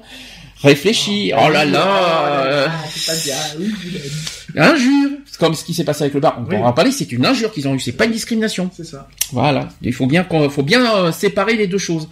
N'est-ce pas, Charlotte Tout à fait. Si par exemple euh, on te, on te dit, on te traite, euh, je sais pas moi. Sale blonde. Sale Gwyn, euh, alors, je sais pas si Gwyn, est-ce que c'est une injure Gwyn Non, pour Bah, moi, c'est pour moi, pas oui. une- pour, pour moi, c'est pas une injure. Euh, C'est comme si quand tu disais sale pédé, quoi. Je veux dire, c'est la même chose, quoi. Ah d'accord. Ah oui. Mhm. Pour moi, c'est la même chose. Donc, euh, pour moi, ça serait pas une injure. Ah bah si justement, si pédé, c'est une injure. Non, c'est une insulte. C'est une injure. Et c'est quoi une injure? Oh, ça va. Lionel n'est pas encore en forme. Ça fait trois mois qu'on n'est pas là, mais il est toujours pas. euh, Moi, je suis encore devant la télé, là. Oui, tu es encore en vacances surtout, je dirais. Allez, trois autres questions. Refuser l'allocation d'un appartement à une personne d'origine étrangère. Est-ce que pour vous c'est une sanction? Est-ce que c'est subordonner la fourniture d'un bien à une condition discriminatoire? Ou est-ce un refus de prestation de biens et services? Et là, C'est le drame. c'est le drame. Là, vous savez, vous avez des choses au final. Ça, peut être la 2, mais ça peut être la 3 aussi. C'est ça qui est chiant. Pour toi, c'est subordonner la fourniture d'un bien à une condition discriminatoire. Mm. Pas du tout. C'est euh, la, la réponse, c'est un refus de prestation de biens et de services. Ouais. Ah, je sais pas, j'aurais peut-être Bah non. aussi la 2 aussi. C'est la loi, c'est c'est les textes des lois qui sont comme ça. J'y peux rien. Autre question. Quelle est la différence entre le critère de l'origine et le critère de la race? Voilà une belle question. Voilà Ouais, une ouais. très bonne question. Ah, Parce qu'en fait, euh, l'origine et la race, c'est pas du tout, c'est deux discriminations deux différentes. Je tiens à le dire déjà, mais est-ce que vous connaissez la différence entre les deux? Moi, je la connais hein, depuis longtemps. Il y en a une, c'est une histoire de couleur de peau, Mhm. et l'autre, c'est par rapport aux origines. euh, Non, pas des- C'est presque ça. aux origines Et, euh, ethniques, non? Non, Non. c'est pas ethnique. Et non, ethnique, c'est La religion, non? Non, ah non, Ah la non, religion, c'est encore une autre discrimination. Euh, aux origines. Je sais plus. Alors, je vais expliquer. L'origine, c'est en fait l'origine géographique, Ah voilà. c'est-à-dire l'origine de naissance. Tandis que la race, effectivement, c'est la couleur de peau et l'ethnique, Mm. si vous préférez. C'est-à-dire noir, blanc, euh, etc. euh, voilà. Ça, c'est ça, c'est la race. Voyez la différence maintenant? Oui, oui, oui. Que faire quand on est victime de discrimination? Alors là, je vais essayer de pas vous, on va, je vais pas donner de réponse. Qu'est-ce qu'il faut faire? Porter plainte. Ensuite, où Alors euh, déjà. à la gendarmerie. Et à qui on peut, qui c'est qu'on peut saisir également? Euh... On est pas- si on est, si on n'ose pas aller par exemple à la police pour porter plainte, à qui on peut, à qui on peut se référer? Ah, À des, la- à la des mairie. associations Ça fait A et ensuite? À la mairie, non? Non. Non, pas au service. euh, Je crois que Lionel il a de la révision à faire sur l'association en fait. je, suis en train de le remarquer, il est tellement fini sur le. bah, après, c'est le. Non, c'est pas le tribunal de toute Non, c'est alors tribunal, c'est quand, tu portes plainte. voilà. Mais euh, tu peux te référer à quelqu'un pour l'accompagnement. Oui, une Donc il y a des associations comme nous par exemple, effectivement, et il y a aussi euh, une autre personne qui s'occupe des discriminations. Qui est le président de l'association Equality? Pas du tout. Il y a pas que moi, et d'abord il y a pas que nous. Hein, qui est- Non, qui. Il y a le défenseur des droits. Ah oui. Ouais, mais bon, c'est rare qu'on parle de ça. Ah non, c'est toujours si ah si si si il a, il a beaucoup beaucoup il reçoit beaucoup de de j'ai regardé euh, son site et tout. Et euh, a même le compte rendu effectivement il y a il y a beaucoup de personnes qui se réfèrent aux défenseurs des droits voilà qui qui euh, qui accompagnent les victimes vers soit des associations soit au niveau des plaintes tout ça. Et c'est vrai que le défenseur des droits est là est fait pour ça également. Euh, déposer plainte où? À la gendarmerie. Où? Ou à la police Moi je moi je moi je recommande plus à la justice. Oui, direct, bah, au tribunal direct, parce que est-ce que on a eu l'expérience l'année dernière? Est-ce que franchement les gendarmeries prennent vraiment en compte les discriminations? C'est Ouais, tout c'est plus la police, moi, qui me. Ou euh, en disant au terme de discrimination, qui te rigole au nez. C'est plus ça effectivement. Bah, disons qu'on a plus de La, facilité. la gendarmerie, la gendarmerie, moi, mais la police, ouais. La police, moi, je fais absolument pas confiance parce que euh, ça m'est arrivé. Bon, après, pour moi, c'était. euh, on va pas en parler encore du cas parce que c'est cet été, j'ai eu un léger souci avec une personne qu'on a tous en commun, hein. Mhm. Et Oui. euh, je me rappelle que l'année dernière, je suis allé voir euh, comment. euh, je suis allé voir la police, on m'a rigolé au nez. Oui, c'est ça, mais je confirme. C'est pour ça que je vous pose la question est-ce qu'il vaut mieux pas pour porter plainte directement au tribunal? Après, attention, il faut le prouver. C'est ça. Le problème, il est là aussi. À chaque fois, je le dis, je le dis tout le temps, et ça fait cinq ans que je le rabâche à la radio. euh, il faut toujours prouver. Et dire euh, dire qu'on est victime, c'est bien, mais le prouver, c'est mieux. Voilà. Vous voyez ce que je veux dire? C'est ça. Sinon, ça, ça sera classé sans suite. Alors justement, ça fait la transition. Comment prouve-t-on une discrimination? D'après vous? Bah, par. Euh... Et là, Bah non, il peut y avoir plein de solutions. Euh, soit avec, soit par avec un témoin. En ça fait un. de Ensuite. Euh, vidéosurveillance, je crois pas. alors c'est prêt. Alors c'est pas tout à fait ça parce que vidéosurveillance. Parce qu'en fait- en fait, si euh, on en a parlé plusieurs fois des vidéosurveillances, c'est si, à condition que ça soit pas à l'insu de la personne. C'est ça. Voilà, le- le- la loi est claire Oui, là-dessus. c'est comme un enregistrement audio, c'est pareil. Il faut pas Voilà. que ce soit fait à l'insu. Voilà. Euh, ensuite, euh, donc un témoignage, oui. Ensuite, forcément, des documents. Oui, les documents. oui. Voilà. Oui, si c'est des, des trucs euh, sur écrit. ouais. En demandant d'aide, bien sûr, au défenseur des droits qui peut vous aider euh, là-dessus. Alors après, peut-être que là-dessus, décidément, ils sont, ils sont chauds bouillants les voitures aujourd'hui. Hein, euh, ils sont, je sais pas ce qu'ils ont aujourd'hui. Ils sont. Euh, Qu'est-ce que je voulais dire? Les testings. Alors je sais que c'est quelque chose qu'on en a pas beaucoup parlé. On peut-être un jour on en parlera parce que je connais pas forcément le, ce- cette méthode. C'est des testings que justement nous associations on peut mettre en place. Mhm.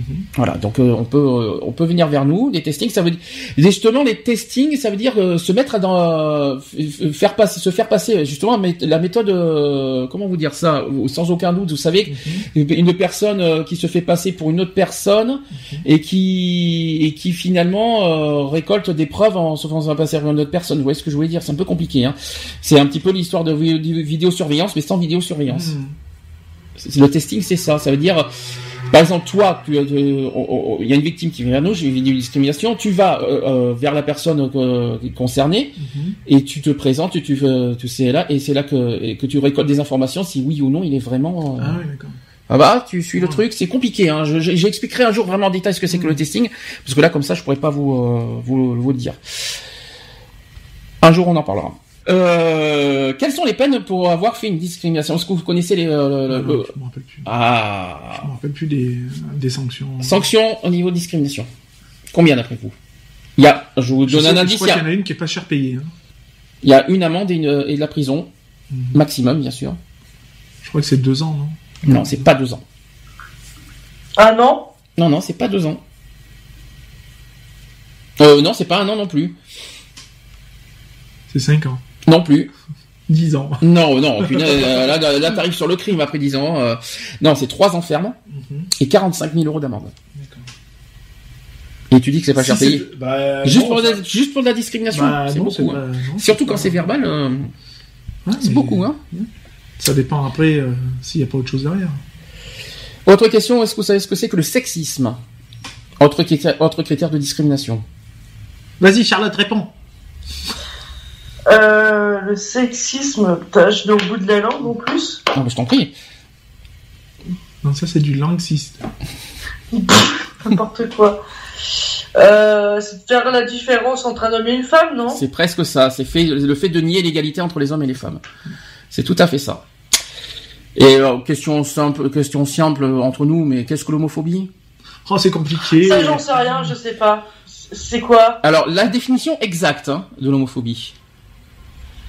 Ou alors vous avez vos propres définitions, mais est-ce que vous connaissez la, définition exacte? Bah, en fait, moi, quand on me posait les questions, moi, je disais que c'était bah, des gens qui n'aiment pas les homos et qui sont prêts à faire, euh, à faire des actes, euh, de les torturer, de, de tuer, de voilà. Ça, c'est le, Ça. ça, c'est la conséquence moi, c'est des, c'est des personnes qui ne conçoivent pas que deux personnes de même sexe puissent avoir des rapports entre eux ou vivre même entre eux. Alors là, tu l'as, t'as fait la version longue. Je vais te le faire en quatre mots. Et Lionel nous a fait la version longue. Je vais vous faire la, la, la version courte. L'homophobie, c'est l'hostilité envers les personnes homosexuelles.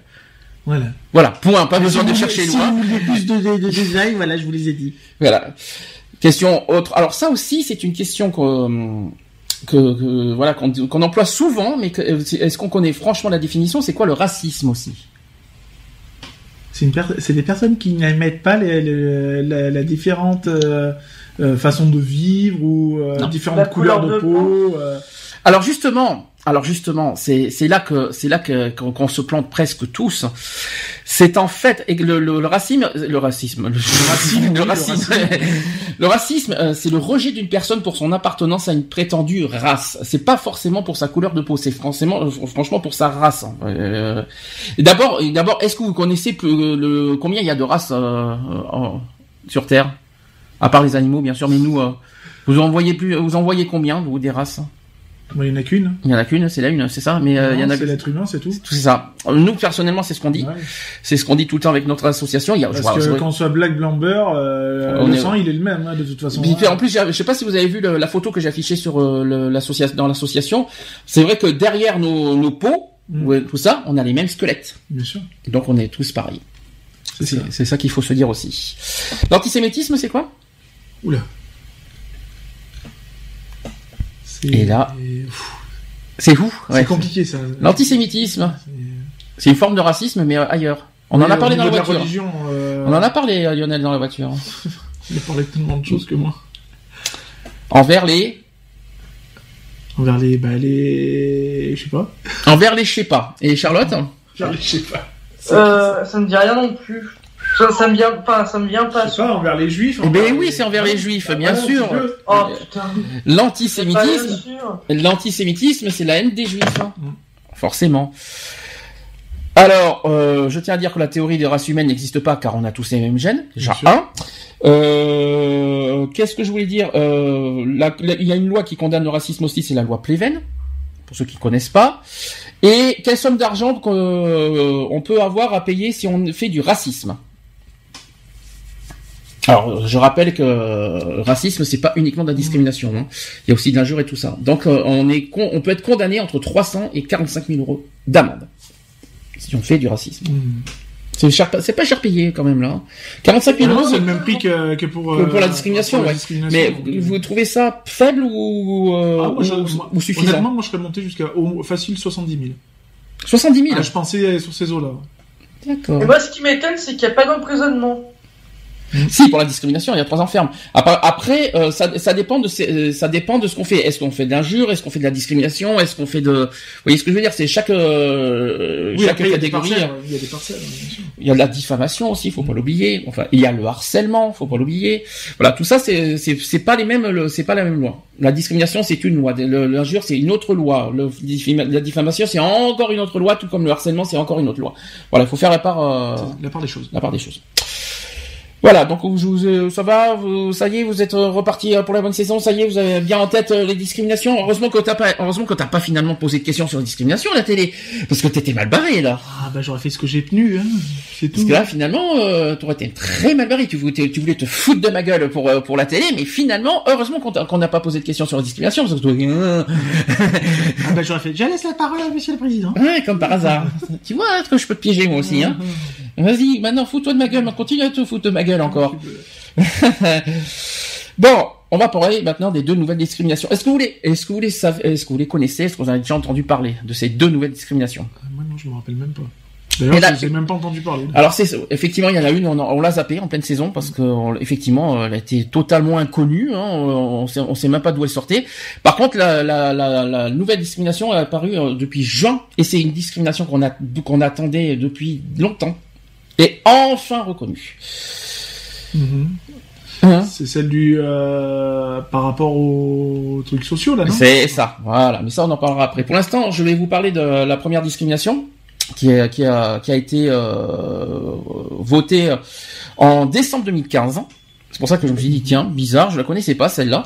C'est sur la perte d'autonomie. Est-ce que ça vous dit quelque chose? Pour une personne euh, qui va subir, qui subit un handicap ou moteur ou autre. quoi. Alors perte d'autonomie, alors handicap, c'est ça, que- c'est ça qui est un peu flou avec euh, avec cette euh, avec ce, cette euh, discrimination. C'est un mélange entre l'âge Mhm. et le handicap. C'est compliqué. Alors qu'il y a déjà un critère sur l'âge et un critère euh, sur le handicap. Je vais essayer d'expliquer, c'est que en fait la loi relative à l'adaptation de la société au vieillissement a été défini- définitivement, définitivement adoptée en décembre dernier. La loi ajoute un nouveau motif de discrimination directe, euh, donc tout ça, c'est- c'est- c'est-à-dire la perte d'auto- d'autonomie. Je vais y arriver. Ouh. Je vous rassure, il n'y a pas de caméra. pourtant. il n'y a pas de caméra cette fois. Donc ce nouveau motif de discrimination prohibé inséré euh, dans un texte de portée générale concerne également le travail, en particulier les candidats et les salariés en poste. Ça, je, vous- je pense que vous le saviez déjà. En pratique, donc cette mesure concerne les personnes handicapées vieillissantes. Voilà le truc. Veut dire- C'est pour ça que c'est les, les deux en même temps. C'est les, les personnes handicapées, mais qui vieillissent. Hmm. C'est ça la perte d'autonomie. C'est-à-dire que plus plus on prend de l'âge au niveau du handicap, et malheureusement plus on perd, plus on perd en autonomie. Bien sûr. Ça y est, vous, vous suivez le, le truc? Euh, ça, oui, je, je sais. voilà. T'étais au courant, Charlotte, de, de, de cette euh, notion de perte d'autonomie? Oui, bah oui, parce que nous, on- moi, moi qui bosse dans le domaine euh, avec les Alzheimer, on se bat justement par rapport à ça, à ce qu'on demande, à, euh, on nous demande de d'essayer de, de leur, faire garder l'autonomie, de pas tout faire à leur place. Donc euh, voilà, donc des fois c'est, des fois c'est pas facile, mais on essaye. C'est qu'on leur explique et puis euh, dire bah, vous pouvez faire tout ça, même s'ils sont Alzheimer ou Parkinson. Donc en clair, je vais essayer de faire en clair, c'est que ce motif a vocation à protéger les personnes en situation de dépendance, et notamment les personnes handicapées qui vieillissent et qui, compte tenu de- du recul de l'âge de la retraite, peuvent se retrouver en, en situation difficile dans les entreprises. Voilà la notion exacte de la perte d'autonomie en termes de discrimination. Voilà, vous voyez la différence entre euh, la discrimination et le handicap? En fait, il y a un mélange, mais c'est plus euh, le côté euh, Vieillissant qui est mis en avant en fait. Euh, sachez aussi que là, je vais vous faire un petit chiffre. En matière de discrimination, il y a 6% des réclamations adressées aux défenseurs des droits qui sont relatives à l'âge. Mhm. Est-ce que ça vous, ça vous surprend? Non. Alors l'âge, pour... est-ce que vous savez pourquoi? Là, on parle du domaine professionnel. Ça veut dire que selon l'âge, on, on dit non à, à certaines personnes par rapport à l'âge. Par exemple, vous êtes trop vieux pour euh, travailler. euh, Voilà. Qu'est-ce que vous en pensez euh, de- trouvez, euh, ça, ça vous surprend finalement Bah, ou c'est le- dégueulasse. C'est surtout dégueulasse. Mhm. Parce que c'est pas parce qu'on a un certain âge qu'on est euh, euh, moins bon qu'un plus jeune ou euh, voilà quoi. Je veux dire, hein, euh, on c'est pas notre âge qui, qui fait le boulot, c'est notre compétence qui fait le boulot. Autre point, on dit que l'âge c'est euh, le, sixième critère de saisine pour euh, discrimination. Sixième. Ouais, je suis bien d'accord, ouais. C'est en sixième position. Il y en a 22. Et ben y a- l'âge est en sixième, sixième position. Et c'est pas étonnant. Hein. Mhm. Euh, moi, mon, par exemple, mon père euh, a eu des soucis de boulot il y a, il y a quelques années en arrière. Euh, il avait à l'époque euh, 45, 46 ans. Pour trouver du boulot, bah, c'était déjà pour lui assez dur, quoi. Alors autre point, c'est que l'institution traite également de nombreux dossiers pour des faits de maltraitance à l'égard des personnes âgées, ainsi que de nombreuses saisines sur des questions de retraite. Le, défenseur des droits aussi a souligné l'importance d'une réflexion sur le fonctionnement des euh, commissions intercommunales d'accessibilité aux personnes âgées. Et en l'état, des difficultés existent en matière de recensement et des logements adaptés pour les personnes handicapées. Vous voyez, le- parce qu'on on va parler forcément des deux, parce que vous savez que la perte d'autonomie, c'est sur les deux. hein. Euh, il a également préconisé la possibilité pour les futurs résidents d'être accompagnés euh, lors de leur euh, entretien avec le directeur de l'établissement au moment de la conclusion du contrat de séjour, lorsqu'aucune personne de confiance n'a pas été préalablement désignée. Alors la distinction entre personnes en, situation de handicap et âgées dépendantes apparue dans la loi en 1997 institue la barrière d'âge d'après vous à combien? 55. Alors aujourd'hui, oui, mais à l'époque, c'était euh, c'était à 60 ans. Mm. À l'époque. Aujourd'hui, oui, je crois que c'est 55. T'as peut-être raison. Je crois que euh, à partir de quand on est senior aujourd'hui, c'est 55, je crois. hein. Ouais, c'est- 55, ouais. Je me, c'est ça. Alors cette séparation est liée aux contraintes financières au rôle conféré au département dans la gestion de- du secteur médico-social et au euh, gériatre euh, en tant que médiateur dans le domaine de la vieillesse. Voilà. Euh, la catégorisation des personnes âgées dépendantes unique en Europe, outre son caractère discriminatoire, est à l'origine d'inégalités injustifiées.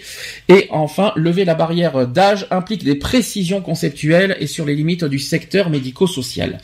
Ces préalables pourraient alors être suivis de l'ouverture d'un nouveau droit social universel, c'est-à-dire la perte d'autonomie, c'est ce qu'on est en train de parler, reposant sur la solidarité nationale.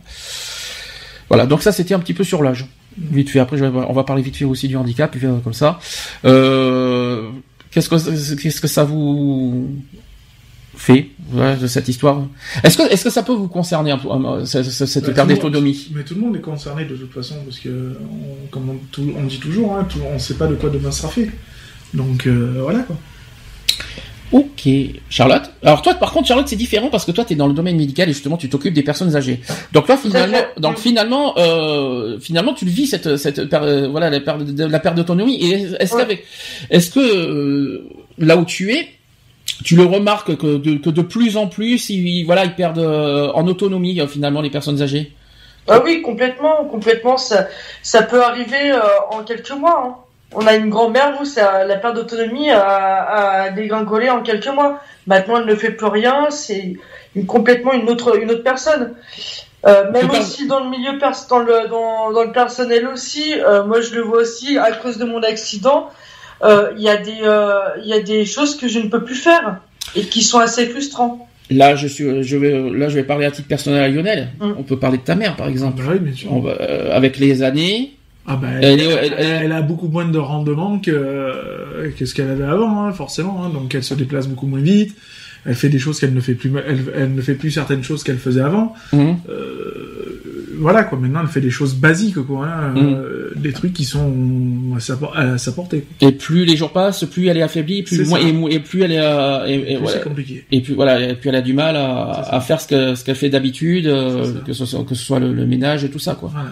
D'accord. Eh c'est ça la perte d'autonomie malheureusement. Euh, ensuite, euh, au niveau du handicap, donc on parle de changement de regard qui s'observe avec la reconnaissance d'un droit à séparation pour des populations en situation euh, d'infirmité dont ils se sentent, euh, dont, ils, ne sont pas responsables. Donc la loi sur les accidents du travail reconnaît la responsabilité des employeurs et met à leur charge une assurance spécifique.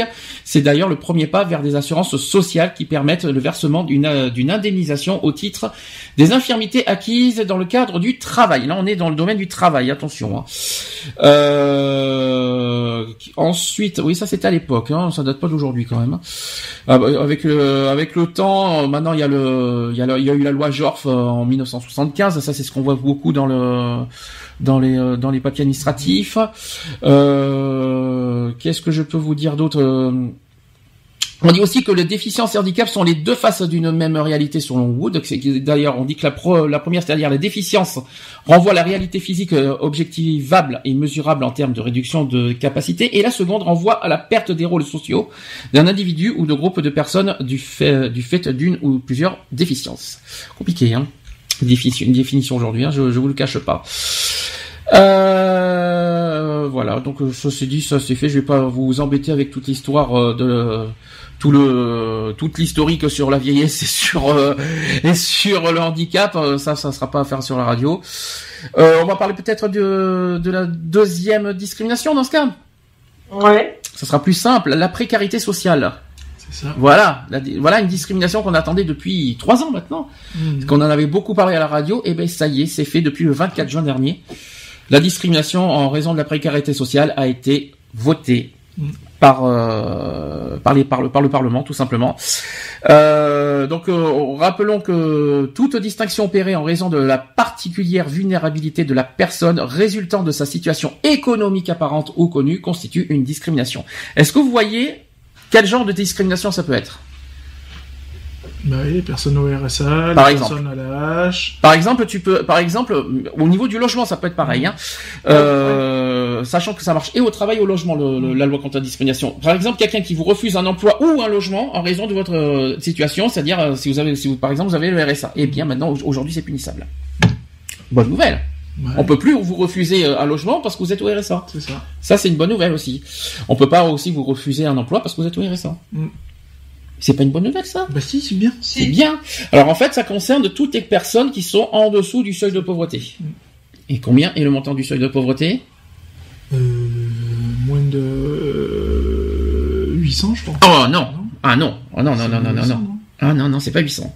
C'est 971. Ouais. 971 euros, si vous êtes en dessous de, si vous touchez euh, en dessous de 971 euros, vous êtes considéré comme pauvre. Je suis pauvre. Eh ben, on n'est pas forcément fier de l'être aussi. Alors, dans un pays en constante évolution et mondialisé, un fléau qui demeure donc la pauvreté, est loin d'être isolée, elle touche actuellement 14,3% de la population, soit c'est un enfant sur cinq. Imaginez, Ouais, un enfant sur cinq est touché par la pauvreté, hein, en France. hein. Sachez qu'un enfant sur... Putain, ils nous en veulent aujourd'hui, hein. euh. Sachez qu'il y a aussi un enfant sur deux dans les zones urbaines sensibles qui sont touchées par la pauvreté. Et elle cause de nombreuses difficultés au quotidien pour ces familles. Et sachez que le gouvernement a mis en place diverses mesures afin de lutter contre la pauvreté. Et malgré tout, un problème majeur de pour ces foyers euh, a été récemment mis en lumière, c'est-à-dire la discrimination. D'après vous, combien de millions de personnes, euh, de ménages même, sont touchés par la pauvreté D'après vous, en France? Je dirais 2 millions. Non, 1 million 500 000. non plus. 3 millions. Non, 12 millions. non, non. 12 millions, c'est euh, de pauvres tout confondus. D'ailleurs, sachant que c'est, euh... donc je crois même que c'est 10 millions, mais bon, c'est euh, de... là on parle de ménages. Alors ménage, c'est ce que ça veut dire des ménages. Oui, c'est Des familles, hein, aussi. C'est ceux qui sont, euh, c'est 4 millions. Mmh. 4 millions de ménages en France sont touchés par la pauvreté. Il fallait que je le dise parce que c'est quand même un- important de le souligner. Euh, sachez que les personnes en situation précaire ont en effet du mal à, à faire respecter leurs droits ou même tout simplement à les faire valoir. Au quotidien, elles font effect- effectivement l'objet de diverses discriminations. Et en raison de la pauvreté dans laquelle se trouvent ces familles, leur accès à un logement ou même à la santé se trouve très largement compromis, voire même impossible. Alors, en effet, elles ne peuvent pas, par exemple, remplir les conditions exigées pour accéder à un logement, par exemple la caution, C'est ça. la fameuse caution, et puis il y a les fameux aussi, il faut, faut avoir deux fois et demi euh, le salaire. Fini, euh, Normalement, c'est fini. ça. logiquement, cette, euh, avec cette discrimination, maintenant c'est fini ça. Normalement, c'est fini. Normalement, ils sont, ils sont en droit de te demander un mois de caution et le mois en cours. Stop. Là-dessus, c'est fini ça. Non, c'est ça. À l'heure actuelle, c'est ça. Alors, il faut justifier, par exemple, trois à l'époque, hein, il fallait justifier d'un salaire trois fois supérieur au montant du loyer. Ouais, c'est ça. Eh ben, Aujourd'hui, maintenant, c'est fini. Euh, Tu, tu, tu, sais ça comment, par exemple Ah bah, appris moi, quand j'ai eu mon, mon logement à Sisteron, on a donné un mois en cours et un mois de caution. Stop. D'accord. Ouais. Bah moi, c'était pareil quand j'ai quand j'étais ici, c'était un mois de loyer et un mois de caution, et effectivement. c'est ça. Tout. Mais a- mais attention, il faut bien se rappeler un détail, c'est que est-ce que les personnes pauvres ont forcément leur le la caution? C'est ça. Voilà, voilà le loyer encore, oui, mais est-ce qu'ils ont forcément après, la caution? Après la caution, t'as toujours, euh, tu peux toujours te renseigner auprès de, de la CAF. Le FSL peut-être. hein. euh, voilà, qui est le FSL, qui eux, eux peuvent te, te dépatouiller, euh, je crois, une bonne partie de, de la caution, voire la totalité euh, de la caution. Et tu ouais, mais alors le problème c'est que le FSL ne donne pas à tout le monde, sinon ça ferait longtemps que Bah tout le monde oui, est sauvé. Hein. Ça ferait longtemps que tout le monde aurait eu un logement si, euh, si le Après, FSL oui, débloquerait. voilà. euh, Ça. c'est le petit problème. Alors effectivement, le problème est là, c'est qu'on peut pas refuser quelqu'un qui a le RSA, mais aussi en retour, il est obligé d'avoir ce qui le strict minimum pour accéder au logement. C'est très compliqué hein, cette histoire. Mais on peut pas aujourd'hui, un propriétaire ne peut pas dire non, je vous refuse un logement parce que vous touchez le RSA. Ça c'est maintenant aujourd'hui c'est fini ça. Et puis il y a aussi la modération des loyers euh, qui, fait que bon, ben, les loyers sont déjà beaucoup plus, euh, on va dire, attractifs. Mhm. Parce que fut un temps, il y avait la, la flambée des loyers où euh, un propriétaire pouvait mettre euh, son logement au prix où il le voulait, quoi. hein, je veux dire, maintenant ça c'est fini. il est obligé de s'en tenir à un certain barème, je crois. Alors, il y a autre problème, c'est qu'il arrive aussi que des personnes ne trouvent pas de logement en raison du risque élevé d'insolvabilité, car les propriétaires refusent de louer leurs biens à des personnes en situation de précarité, et même lorsqu'elles bénéficient d'une aide au logement, euh, du montant du loyer et d'une garantie de loyer par les fonds de solidarité logement, c'est ce qu'on vient de, dire-. Alors, ces discriminations ne sont pas euh, sans conséquences sur les personnes concernées. Elles pèsent de manière extrêmement négative sur les démarches entreprises par la personne en situation de pauvreté. Elle est un frein aussi à, à son ascension ou à l'évolution de sa situation. Par exemple, la personne pauvre ne peut accéder à un logement, ne peut accéder à un emploi non plus en raison de l'absence de logement. Et en conséquence, ces discriminations contribuent euh, dans une certaine mesure à aggraver leur situation et à accroître leur exclusion sociale. Et on te pousse gentiment vers la sortie. Il faut connaître le cercle vicieux. Hein. Mais, Le cercle vicieux logement, travail et le troisième? mais- Quels sont les trois les trois principes fondamentaux? le, le- le- le social après? Non. Les trois principes fondamentaux qu'on est, que, que tout le monde doit avoir. Et ça, c'est les droits de l'homme. hein. Les trois principes. Des- et puis en plus, c'est un cercle vicieux. hein. Logement, travail et le troisième Argent. Non, pas argent.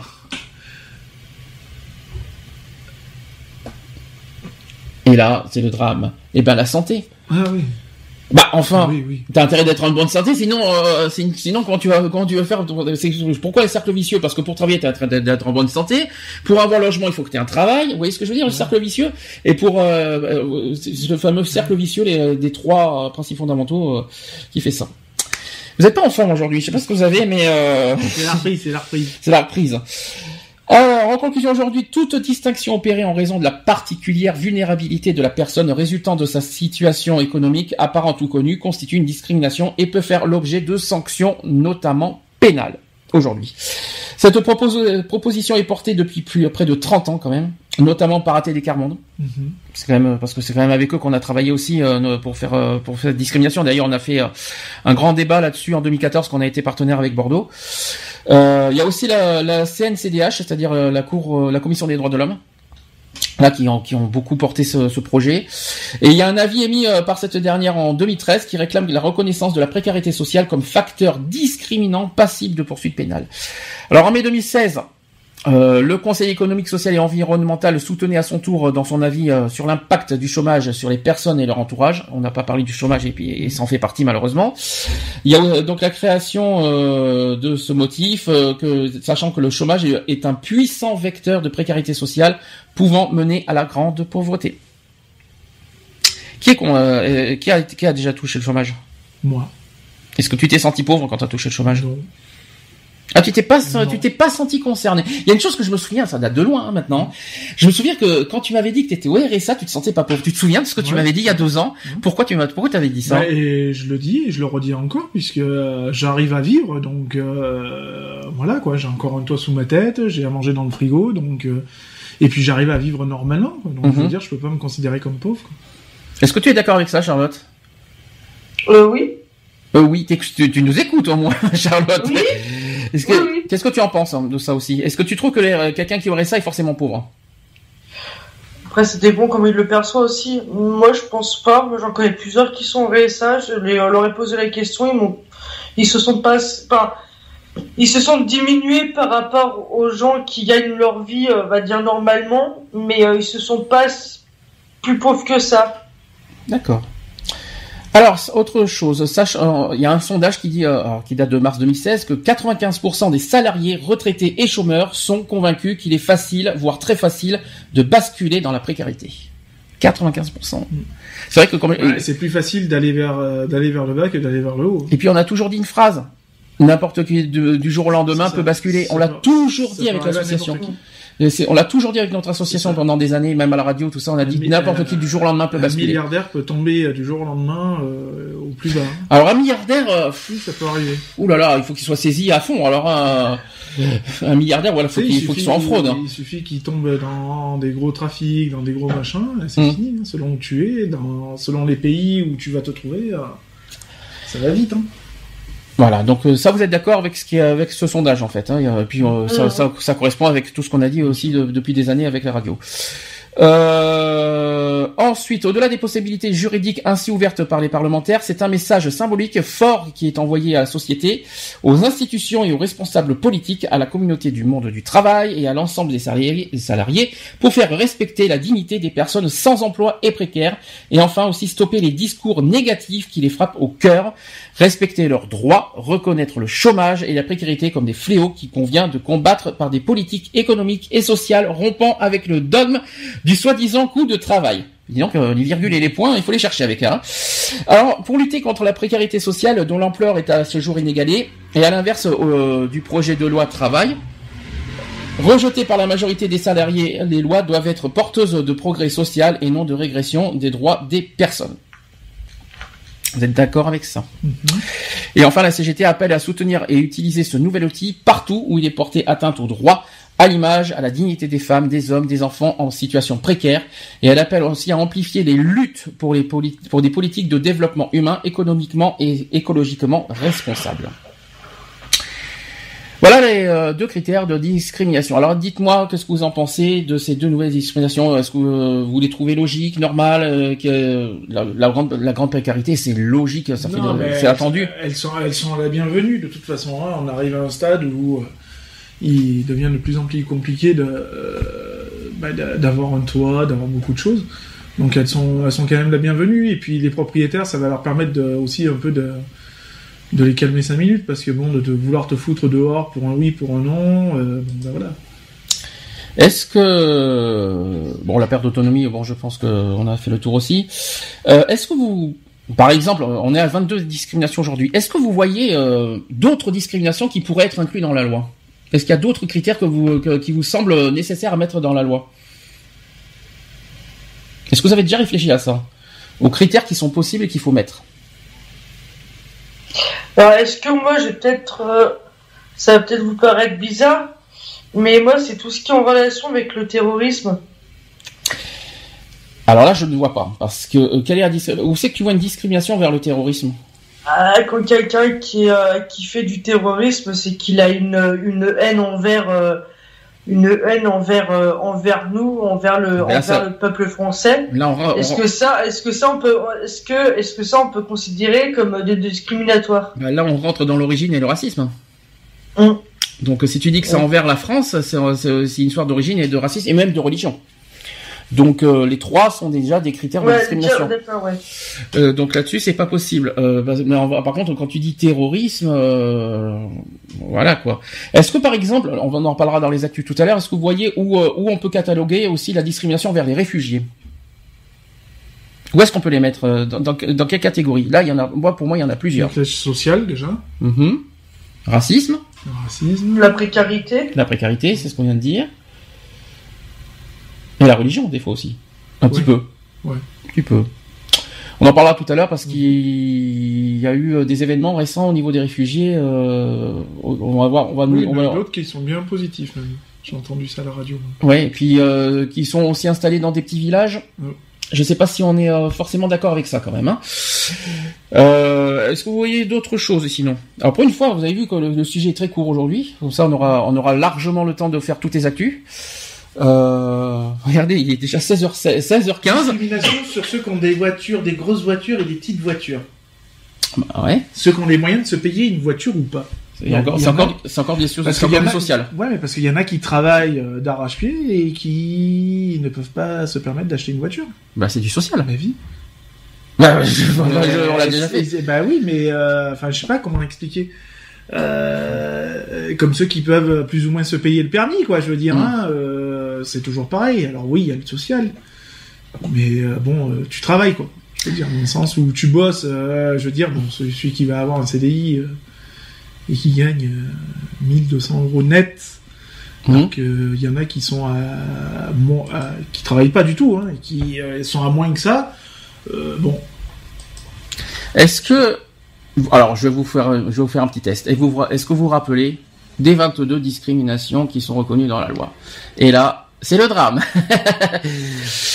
La religion, l'ethnie, la race, l'exclusion sociale, je vais la mettre. Alors ça, c'est la précarité sociale, c'est Ouais. pas l'exclusion sociale. Euh, la religion, Tu l'as déjà dit. Je l'ai déjà dit. Euh, Bip.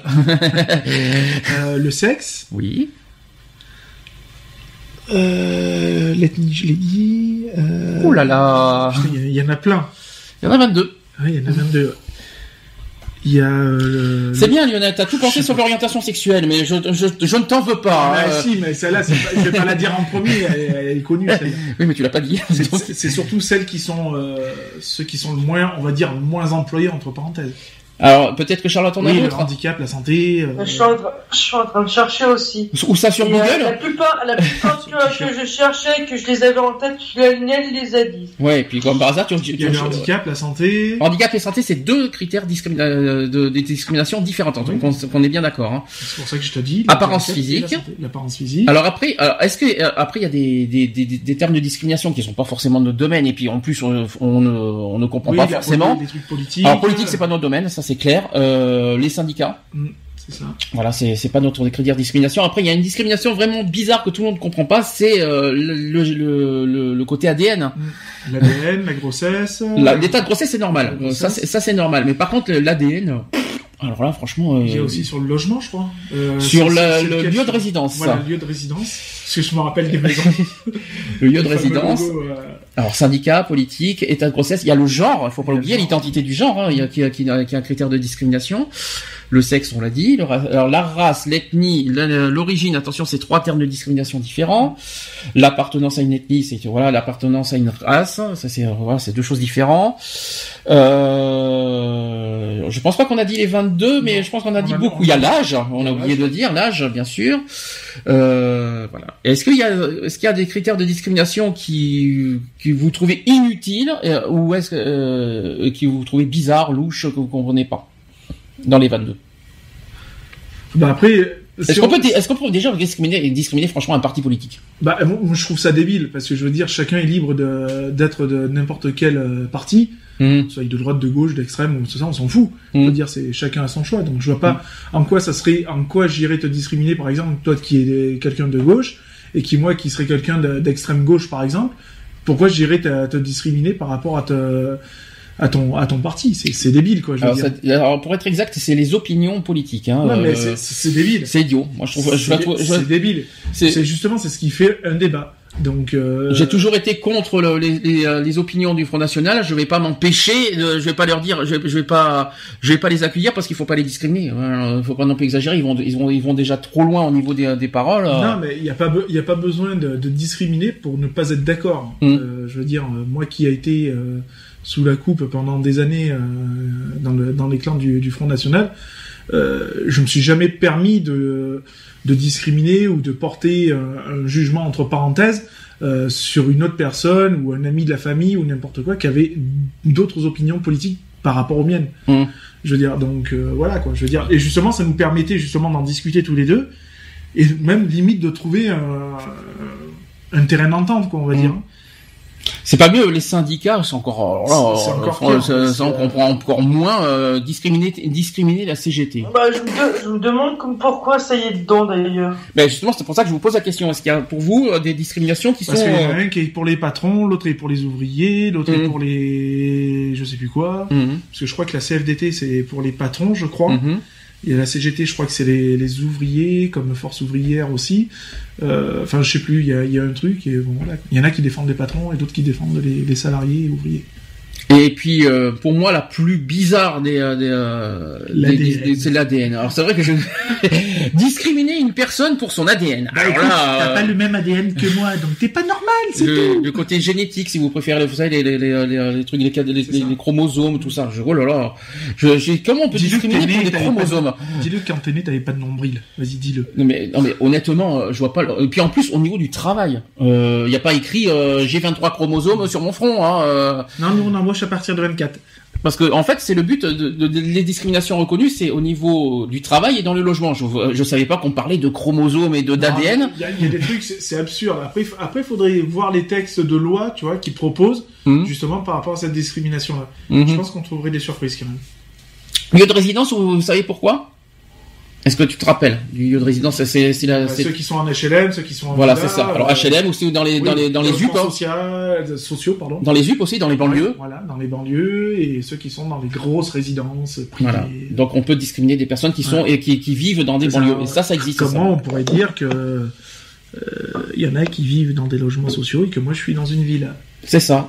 Voilà. Et on peut et on te dit tiens ah j'ai peur tiens je, vais- je, je vais pas je vais pas rencontrer cette personne je vais pas la, je vais pas la fréquenter parce qu'il est dans un HLM. C'est Alors tellement, moi j'ai- des collègues qui vivent en HLM et ça me dérange pas. hein. J'ai vécu en HLM aussi donc. euh, C'est tellement stupide ça aussi. euh. Il est blême mon HLM, il est Mm. blême. Ouais, merci Renaud. euh, voilà. Est-ce que vous avez d'autres la religion? Alors ça c'est c'est- la C'est religion. délicat la religion. C'est pour ça que- la, la- la- la religion, pardon, c'est délicat. C'est pour ça qu'on a décidé avec l'association de ne pas euh, faire de catégorie religion. Parce que nous, d'abord, un, on fait pas de, il n'y a pas de différence au niveau, au niveau des religions. Euh, je vois pas pourquoi on va. Non, on- voilà, on a, on a discuté, je sais pas si tu te rappelles, euh, euh, on avait discuté en off avec euh, le gars de, de chez DC TV, Mhm. quand euh, on avait parlé de ce qu'on pensait du, du Burkini, par exemple, l'histoire du Burkini. Moi, comme je dis, hein, là où on a été en vacances, on en a vu. Moi, personnellement, ça m'a pas choqué, quoi. Je veux dire, euh, la personne est libre de, de faire ce qu'elle veut, de se baigner comme elle veut, hein, comme celui qui fait du naturisme, il fait ce qu'il veut, quoi. Je veux dire. Euh, moi, ça m'a jamais dérangé, quoi. Pas plus que ça. Je- en conclusion, il faut quand même rappeler les cinq axes euh, de, de l'association Mhm. au niveau discrimination. La santé, le handicap. Ah non, je suis pas d'accord. Santé handicap, c'est le même axe. Non, c'est pas le même Si, aspect, c'est si, deux si. discriminations différentes. Ah oui, mais c'est le même, euh, la même catégorie. Alors, la première catégorie, c'est sur euh, l'homosexualité. Donc, euh, on, on a, bon, j'ai trouvé ça autrement. Hein Oui, vas-y, Non, continue. Voilà, le, le combat LGBT. Mhm. On va dire ça comme ça. LGBT, ça veut dire quoi, s'il vous plaît? Que veut dire LGBT Lesbienne, gay, bi, trans. Et on rajoute le H pour les parce que l'égalité des droits pour tous. Donc, euh, donc on rajoute également le H dans LGBT. Ensuite, deuxièmement. Ben, on va revenir, euh, le, handicap et la santé. Pourquoi alors, euh, handicap et santé Pourquoi on, a, on avait choisi ce, ce thème? Ouais, parce que c'est ton domaine. Pas. Ça y est, voilà, ça va me retomber sur la tronche. Handicap santé parce que c'est mon domaine. D'abord, un, je suis, je suis pas d'accord avec toi. Le handicap, si tu veux, mais la santé, c'est pour ça, ça concerne tout le monde. Oui. Je suis pas d'accord avec toi sur ça. Je suis pas. C'est là, c'est là que je suis pas. Je suis Ah pas oui, content quand j'entends ça. C'est un seul et même groupe, donc euh, du Non, coup, mais je suis d'accord. Mais de là dire que la santé, ça concerne moi, je suis pas d'accord. La santé, ça concerne tout le monde. Tout le monde peut être victime de santé, n'est-ce pas, Charlotte? Euh, Voilà. N'importe qui peut avoir des soucis de santé, n'est-ce pas, Lionel on, est d'accord. Ouais. Après, j'ai jamais dit que le handicap, ça concerne tout le monde. Le handicap, c'est ceux qui sont touchés. Mais après, euh, la- Après, il y a la précarité sociale.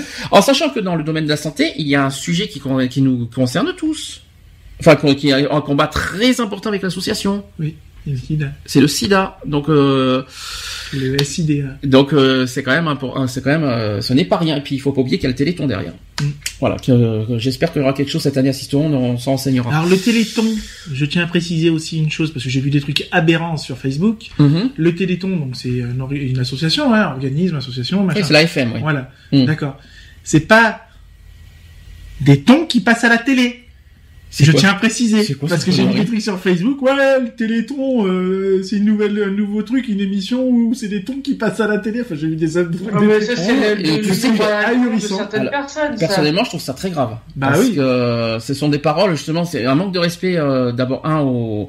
Alors quand ils disent de ton, ils parlent du poisson, ils parlent pas des personnes. euh, mais tu réfléchis, quand, tu, tra- quand tu traites quelqu'un de ton, excuse-moi, euh, c'est pas forcément euh, bon Non, mais justement, justement, c'est pour ça que je précise bien que sur le- ce que j'ai vu moi sur Facebook, Mhm. c'est bien le ton, le poisson qui est représenté. C'est Mm. pas le ton. euh, Oui, le une ton, euh, personne euh, qui est dit, qui est euh, discriminée par rapport à son apparence physique. Mhm. D'accord. Ah, mais moi je suis pas d'accord parce que quand j'entends ça, tiens, il y a que des tons, et moi je suis désolé, on, est en train de critiquer l'apparence physique là. Eh, mais si on est en train de se baigner, que je te dis dans la mer il y a que des tons, tu vas pas le prendre pour toi quand même. Il y a de la merde, non, mais c'est- t'as pas compris, mais là tu dis que, Non, tu si, dis j'ai que dans le téléthon, il y a que des tons. Réfléchis. Oui, oui. Il faut. euh, Oui, mais bon, moi j'ai vu le truc, donc après je vois Alors, pas, euh, soit, euh, moi je, vois- je vois le contexte comme ça. Après, Oui. chacun, chacun le voit différemment. Je sais pas comment tu le vois, tu le vois toi, Charlotte, quand tu entends ça, mais euh, Bah, moi, ça me c'est fait faux. Ça me... Ça, ça me fait même pas sourire ni rien parce que pour moi c'est une humour vraiment euh, vraiment très très con. Euh, quelqu'un qui te sort ça, le téléthon, euh, c'est une, euh, la télé pour les tons, euh, franchement, euh, tu te demandes d'où, euh, d'où il sort. Là, ça revient à la question, peut-on rire de tout On en a parlé il y a deux jours de ça. Ouais. Re- On a, on a fait un débat l'année dernière aussi. Peut-on rire de tout, franchement? Moi, oui. Parce que pour toi, ça te fait rire. c'est c'est stupide, bah ouais, ça me fait rire. D'accord. Non, moi, je trouve pas ça drôle. J'aime l'humour Ouais, noir, c'est pas de ma Ça peut faute. me faire rigoler, mais avec un certain respect aussi. C'est ça. Notamment qu'on parle d'un sujet très grave. Non mais euh, moi- enfin moi j'ai vu le contexte. Après c'est Mm. pas euh, c'était pas du tout vi- visé vers la, la discrimination de- du fait de l'apparence physique d'une personne. Loin de là. Mm. Ça représente le poisson quoi, je veux dire. Donc y a pas de on va pas discriminer les poissons maintenant. À moins qu'il y ait une discrimination vers les poissons, mais je le sais pas. Moi, je, moi, je- moi, je l'entends. Disons que toi, tu l'entends comme ça. Moi, je l'entends autrement. Bah, C'est parce que je l'ai euh, vu comme ça. mais pas moi. Moi, je l'entends. Visuellement parlant, c'était comme ça. Ah, visuellement, mais quand tu l'as dit, le fait que tu le- que tu dis euh, que tu nous dises comme ça, euh, moi, je l'entends autrement. Tu vois ce Oui, que- bah oui. C'est pour ça que euh, voilà quoi. Bon, bah, après chacun son chacun son opinion, hein, je vous le dis franchement. Euh, et puis on fait pas de discrimination vers les poissons, ça je le confirme aussi. Euh, donc voilà, est-ce que donc euh, les cinq axes on revient là-dessus, donc l'orientation sexuelle, donc c'est-à-dire le combat LGBT et puis plus H, hein, on peut dire aussi. LGBTH, Euh, le, le handicap et la santé qui font la partie de la même la catégorie. précarité sociale. La- l'exclusion sociale. Oui, parce l'exclusion qu'on a, on a, on a, on a englobé englobé. pas mal de choses. Euh, l'origine, l'origine et la race, hein, le racisme, bien sûr. Et le cinquième, tu t'en souviens? L'égalité Ah des oui, sexes. l'égalité. Sur les discriminations, d'ailleurs, il y a une question qu'on se pose. D'abord, êtes-vous vect- êtes-vous victime de plusieurs discriminations en même temps? Parce qu'on parle d'une discrimination, mais les gens peuvent être victimes de plusieurs discriminations. Alors, on va parler des discriminations. Je vais d'abord passer euh, parler de d'où sort ce mot discrimination, d'où il était venu, après on va faire la définition. Alors le concept de discrimination sociale fait son apparition à la suite des luttes politiques pour l'égalité de droits entre les hommes qui aboutissent dans la plupart des pays occidentaux au début de la seconde moitié du XXe siècle à l'abolition progressive des différences légales de traitement. Donc fin de la, colonis- de la colonisation, de la ségrégation aux États-Unis, etc. Dans un contexte où la société évolue dans le sens d'une généralisation des mécanismes de concurrence, certains groupes sociaux ne bénéficient pas objectivement des mêmes chances que les autres, malgré l'égalité de droits dont ils jouissent en principe. C'est le cas des minorités visibles, des femmes, des handicapés, des seniors, etc. Pour établir un équilibre des chances, ces États engagent des politiques de lutte contre les discriminations. Cette lutte emprunte plusieurs chemins. D'abord, le droit. Du point de vue du droit, la discrimination ne consiste pas à léser un groupe, mais un individu, en se fondant sur un critère illégitime. Il s'agit de protéger les individus en sanctionnant la discrimination. Il s'agit aussi de prévenir les discriminations, par exemple en rendant anonymes les candidatures à des emplois. Ensuite, des politiques de rééquilibrage appelées discrimination positive, qu'on en parlera tout à l'heure, qui visent à rééquilibrer les chances entre les groupes. Enfin, de manière plus générale, il existe des mesures économiques, sociales et culturelles. Donc la définition exacte, euh, la discrimination, c'est une ségrégation, euh, acte de mettre de côté ou de distinguer une personne pour sa couleur de peau, son genre, sa sexualité, sa religion, un handicap, etc. Le mot discrimination vient du latin discriminatio, je crois qu'on dit comme ça, qui signifie séparer. Le concept de discrimination au sens le plus général de séparation n'a pas de connotation négative. Il se retrouve dans plusieurs domaines. Premier point au sens psychologique. La discrimination est l'action qui consiste à distinguer l'un des deux objets de pensée concrets. Elle est impliquée dans une partie des cognitions. Euh, du, euh, le verbe discriminer euh, conserve ce sens de distinguer. Deuxième point en théorie économique. La discrimination désigne l'action d'un agent qui module son offre de travail de biens en fonction des caractéristiques connues ou supposées des autres agents. Le cas le plus courant est celui de la discrimination par les prix. Troisième point en mathématiques. Le discriminant est une fonction de coefficient euh, d'une équation qui permet de déterminer le nombre de racines de cette équation. Quatrième point, en statistique. L'analyse discriminante permet de prédire la composition d'un groupe à partir de critères exogènes, variables prédictives. Cinquième point, en droit fiscal, euh, la discrimination est une modulation du tarif de l'impôt selon différents paramètres. Et enfin, sixième point, en télécommunication, la discrimination est une démodulation destinée à restituer un signal. Voilà, ça c'est la définition du mot discrimination. Maintenant, on va parler dans la euh, de la discrimination dans le sens courant. Donc le mot discrimination s'est imposé dans le, dans le langage courant et dans celui des sciences sociales, dans un sens plus restreint. Au sens courant, La discrimination est le fait de traiter de manière inégale et défavorable un ou plusieurs individus. De manière plus précise, il s'agit de distinguer un groupe social des autres en fonction de caractères extrinsèques. Alors je connais pas ce mot, je suis désolé. Donc entre parenthèses, j'ai fortune, éducation, lieu d'habitation, etc. Ou intrinsèque, euh, c'est-à-dire sexe, origine ethnique, etc. Afin de pouvoir lui appliquer un traitement spécifique, en général négatif. Pour constituer une discrimination, le traitement réservé au groupe social discriminé doit être au minimum perçu comme son légal.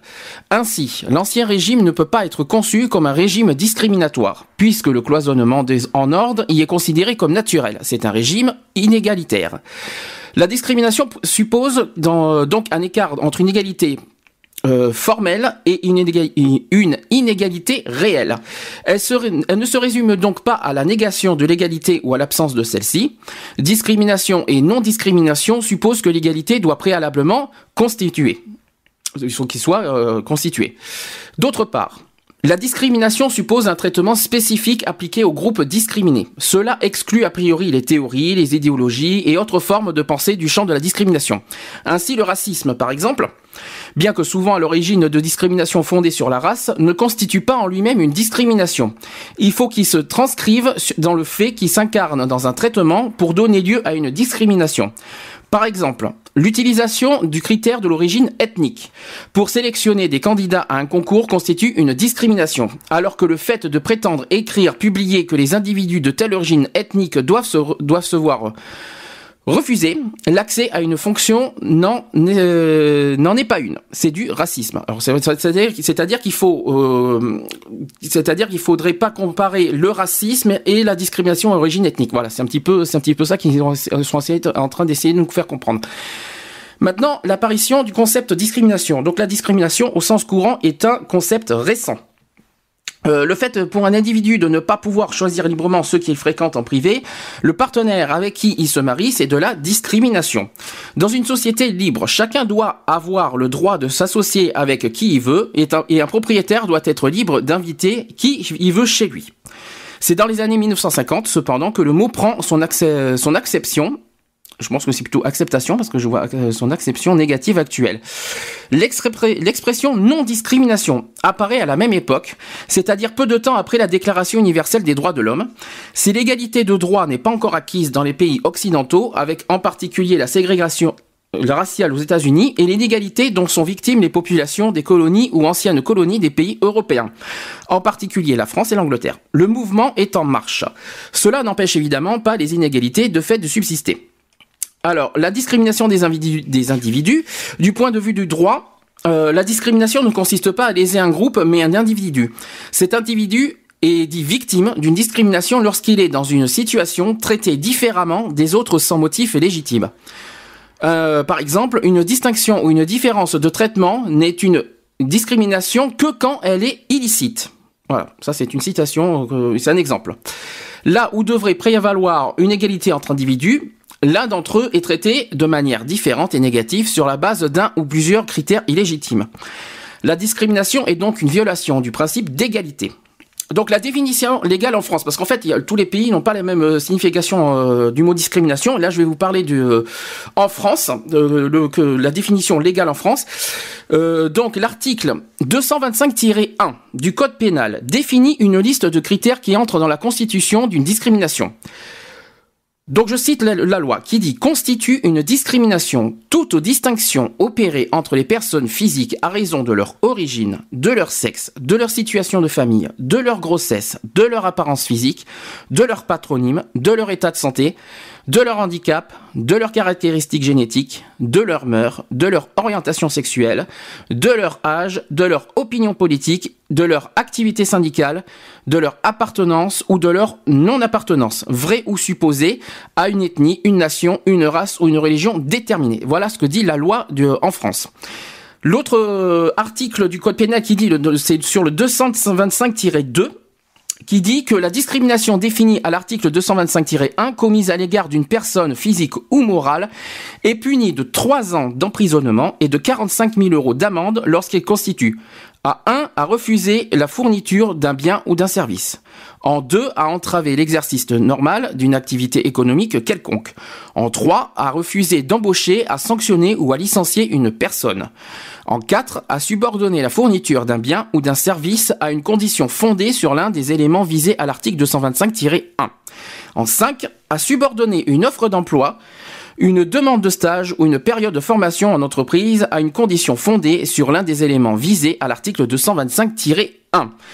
En 6, parce que c'est pas fini, hein, euh, a refusé d'accepter une personne à l'un des stages visés par le numéro 2 de l'article L412-8 du Code de la sécurité sociale. Lorsque le refus euh, discriminatoire prévu au numéro 1 est commis dans, un lieu accueillant du public ou au fin d'en interdire l'accès, les peines sont portées à 5 ans d'emprisonnement et à 75 000 euros d'amende. Cela semble interdire l'utilisation pour distinguer entre les personnes des critères cités à l'article 225-1. Et ce, dans pratiquement toute situation. Les articles suivants nuancent quelque peu cette perception. L'article 225-3 fournit une liste de situations dans lesquelles l'usage d'un critère de la liste de l'article 225-1, les listes on va en parler, on va en définir après. Parmi ces situations, on trouve notamment les discriminations fondées en, matière d'embauche, sur le sexe, l'âge ou l'apparence physique, lorsque, lorsqu'un tel motif constitue une exigence professionnelle essentielle et déterminante, et pour autant que l'objectif soit légitime et l'exigence proportionnée. Le fait de choisir un acteur de cinéma en fonction de son physique n'est pas discriminatoire. Euh, par exemple, alors j'ai entre parenthèses, par exemple, l'Othello de Shakespeare est un Maure euh, et Hamlet un prince danois une couleur de peau est associée à ces personnages, même si ces metteurs en scène, même si les metteurs en scène peuvent les tirer vers l'universel et choisir un acteur d'une couleur de peau différente. De même qu'un club de football se fonde sur l'état de santé d'un joueur pour renouveler ou non son contrat n'est pas discriminatoire. Parce que le fait d'être en bonne santé est nécessaire pour jouer au football. Alors c'est vrai que ça paraît compliqué, mais voilà, c'est, il y a certains trucs, voilà, qui paraissent pas, c'est bizarre, hein. Bon, c'est comme ça. Je vais quand même euh, revenir sur le sur les définitions, les termes, le terme discrimination. Il y a, on parle par exemple de discrimination directe et indirecte. L'article 4 de la loi numéro 2008-496 du 27 mai 2008 portant diverses dispositions d'adaptation au droit communautaire dans le domaine de la lutte contre les discriminations confirme l'inversion de la charge de la preuve en matière de discrimination. Je cite. Toute personne qui s'estime victime d'une discrimination directe ou indirecte présente devant la juridiction compétente les faits qui permettent d'en présumer l'existence, au vu de ces éléments, il appartient à la partie défendresse de prouver que la mesure en cause est justifiée par des éléments objectifs étrangers à toute discrimination. Le présent article ne s'applique pas devant les juridictions pénales. La discrimination peut être directe ou indirecte. Dans le premier cas, la discrimination est patente. Elle est peut-être constatée ou dénoncée. Mais suite au développement de la lutte contre les discriminations, il existe un certain nombre de pratiques dissimulées. Ces pratiques visent à écarter les candidats de manière indirecte. La notion de discrimination indirecte a été introduite suite aux tentatives de rééquilibrage entre les différents groupes de population. La mesure de la représentation des différents groupes dans les différents secteurs d'activité, en particulier aux États-Unis, a permis de détecter des variations à la suite du développement de certaines pratiques apparemment irréprochables, mais qui en fait lésaient un groupe particulier. Le repérage de la discrimination directe relève d'une analyse juridique qui permet de déceler une différence de traitement opposée à l'égalité. Le repérage de la discrimination indirecte relève de l'analyse statistique. On la repère par les effets, non par les causes. L'intention de l'auteur de la mesure n'est pas prise en compte, seul compte le résultat. Alors maintenant, on parle de, discrimination également au, point de vue des groupes, parce que comme je vous l'ai dit, il n'y a pas forcément qu'individuel, et ça marche aussi au niveau, au niveau des groupes. Alors je vais vous le dire, la notion de discrimination appréhendée du point de vue de l'individu ne semble ne s'appliquer qu'à des situations particulières, mais elle s'étend à un groupe de manière immédiate. En effet, on dit qu'un groupe est victime de discrimination lorsque le critère euh, qu'il identifie, donc couleur de peau, religion, sexe, etc., sert régulièrement de support à une discrimination individuelle. D'autre part, la discrimination peut être considérée comme légale si la loi s'oppose à un principe d'égalité qui la dépasse. Elle vise alors directement les groupes en tant que tels. et non plus seulement les individus. Elle s'appuie sur des groupes constitués ou bien définis des groupes et précise les traitements à leur appliquer. Ainsi, certains groupes discriminés possèdent une longue histoire, une culture ou des valeurs communes. C'est le cas par exemple des groupes ethniques. Alors que d'autres ne se perçoivent pas forcément comme tels, par exemple les personnes handicapées. Euh, donc, après, si l'on s'en tient à une discrimination telle que définie par la loi, l'idée de discrimination légale n'a pas de sens. Pourtant, au sens général, la discrimination est une inégalité qui se manifeste sur fond d'une égalité supposée. Mais la norme qui fonde l'égalité en question peut ne pas être strictement juridique. Elle trouve alors sa source ailleurs. Dans une source du droit supérieur, dans une conception considérée comme euh, transcendante, comme elle portait comme celle portée par les droits de l'homme, je vais y arriver aujourd'hui, comme celle portée par les droits de l'homme ou une religion, ou bien simplement par la perception de certains membres de, la société. Euh, L'emploi du terme discrimination, ou plus précisément discrimination légale, pour qualifier ces situations où la loi s'oppose, par exemple aux droits de l'homme, est répandu. Mais il faut noter que souvent, les phénomènes considérés datent d'avant les années 50. Pour rappel, je sais pas si vous vous rappelez, on avait fait un, sujet sur les droits de l'homme le 10, no- c'était le 11 décembre dernier, et dans les, euh, dans les droits de l'homme, il y a effectivement euh, le terme discrimination dedans, et que la discrimination, ben voilà, c'est interdit par la loi, et que les droits de l'homme condamnent effectivement les discriminations, entre autres. Donc euh, ensuite, donc il y a plein, plein, plein de choses. Donc la lutte contre la discrimination. Donc c'est ce qu'on nous pour rappel notre association qui s'appelle Gay Free qui se situe à Bordeaux qui est nationale lutte entre autres contre toutes les discriminations pas forcément orientation sexuelle parce que c'est vrai que on parle il y a le mot gay dedans c'est vrai que ça peut ça peut freiner ça peut ça peut gêner le mot gay mais je vous rassure notre association lutte contre toutes les formes de discrimination et je vais euh, en parler un petit peu donc identifier une situation comme discrimination revient à la, à la qualifier négativement, donc à concevoir qu'elle n'est pas légitime. Cette identification, ou là je vais y arriver, a donc pour corollaire la formation du projet de lutte contre la discrimination. Souvent, mais pas toujours, les discriminations légales s'inscrivent dans la mémoire collective et provoquent un sentiment de désaffiliation et, de non-reconnaissance. La nation peut mettre en, euh, place des symboles pour tenter de- d'en atténuer les conséquences. La lutte contre les discriminations peut utiliser le moyen juridique en punissant les discriminations. Elle peut également passer par des politiques sociales, culturelles, économiques. Mais le moyen le plus original et souvent discuté pour lutter contre les discriminations reste la discrimination positive. Et là, on va en arriver. Les gens se disent, mais qu'est-ce que c'est que la discrimination positive? Parce que certains, on parle de la lutte contre les discriminations, mais à côté, vous avez également la discrimination positive. Et qu'est-ce que c'est que la discrimination positive? Je vais vous le dire. C'est euh, comme son nom l'indique, c'est une discrimination, mais elle renverse le fonctionnement de la discrimination classique en favorisant les groupes qui sont habituellement défavorisés. En effet, les politiques et le droit peinent à rétablir l'équilibre entre les groupes sociaux, car les groupes défavorisés ne bénéficient pas des mêmes euh, armes que les autres.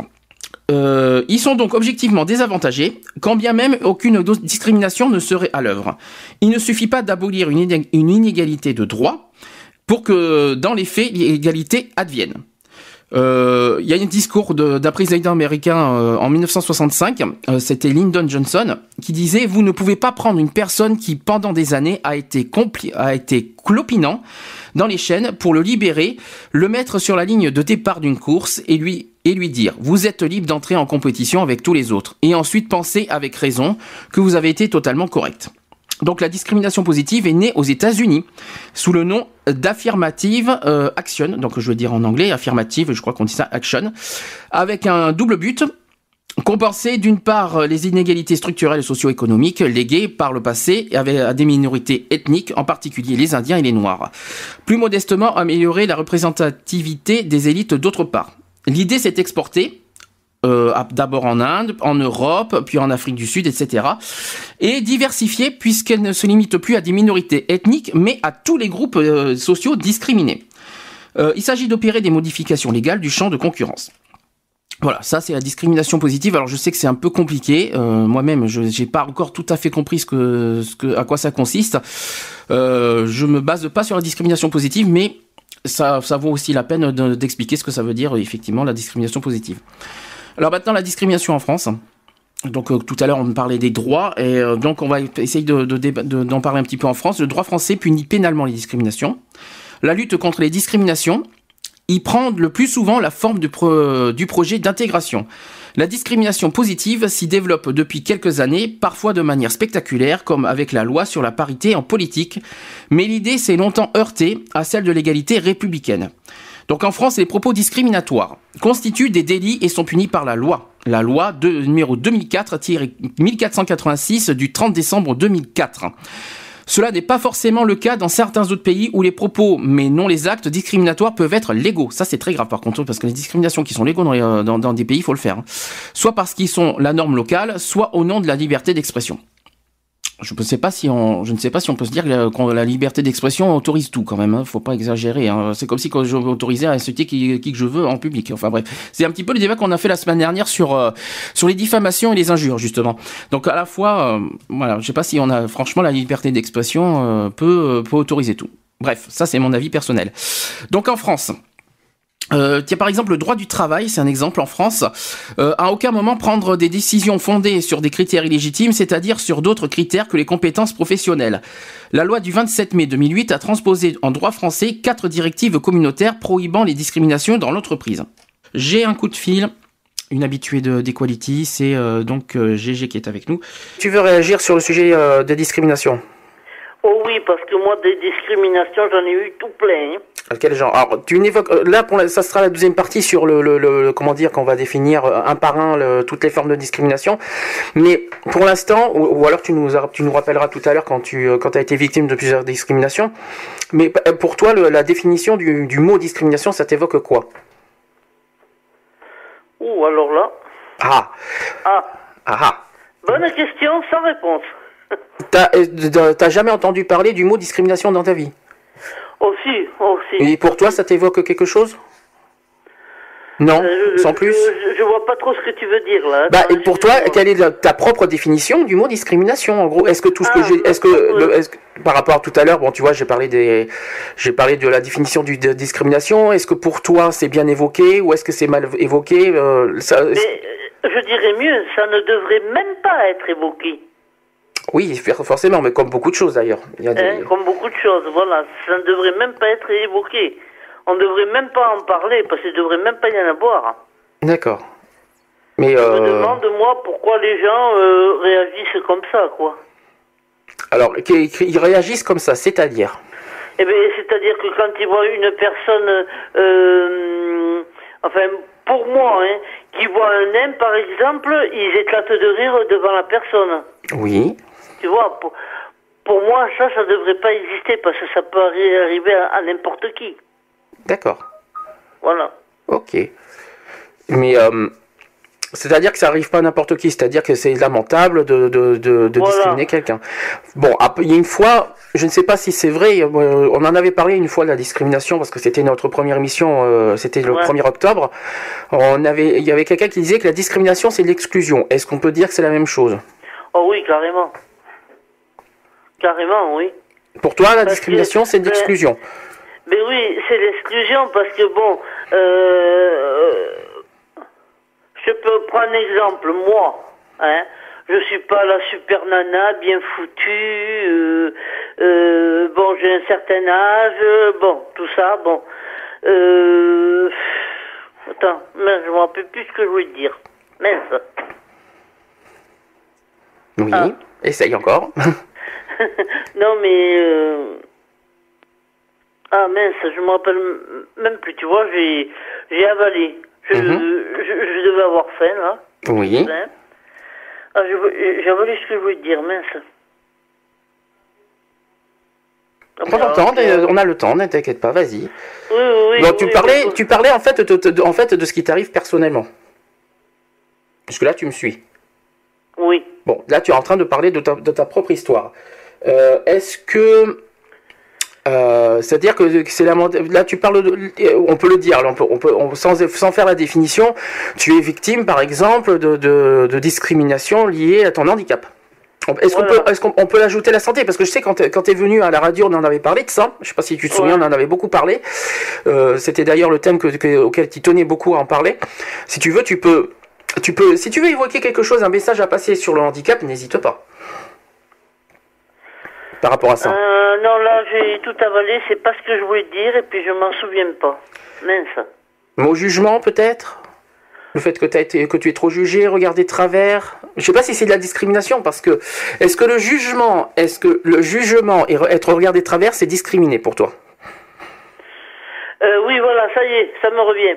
Oui, je voulais te dire, par exemple, moi, bon, quand je vois une personne, hein, qui me regarde et qui se moque de moi, j'ai envie de rentrer chez moi, de me taire et de ne plus sortir. D'accord Donc, ce qui est égal à, à l'exclusion pour moi. Oui. Voilà, c'est ce que je voulais te dire. D'accord. Je- je- J'espère Pour toi, discrimination est égale à exclusion. D'accord. Hein Pour toi, discrimination, ça veut dire exclusion. Oui. Mais moi, par contre, euh, ce n'est pas mon cas parce que moi, euh, bon, plusieurs fois, je suis allé à la plage en me mettant en maillot de bain comme je suis grosse. Ça a été des regarde, elle grosse.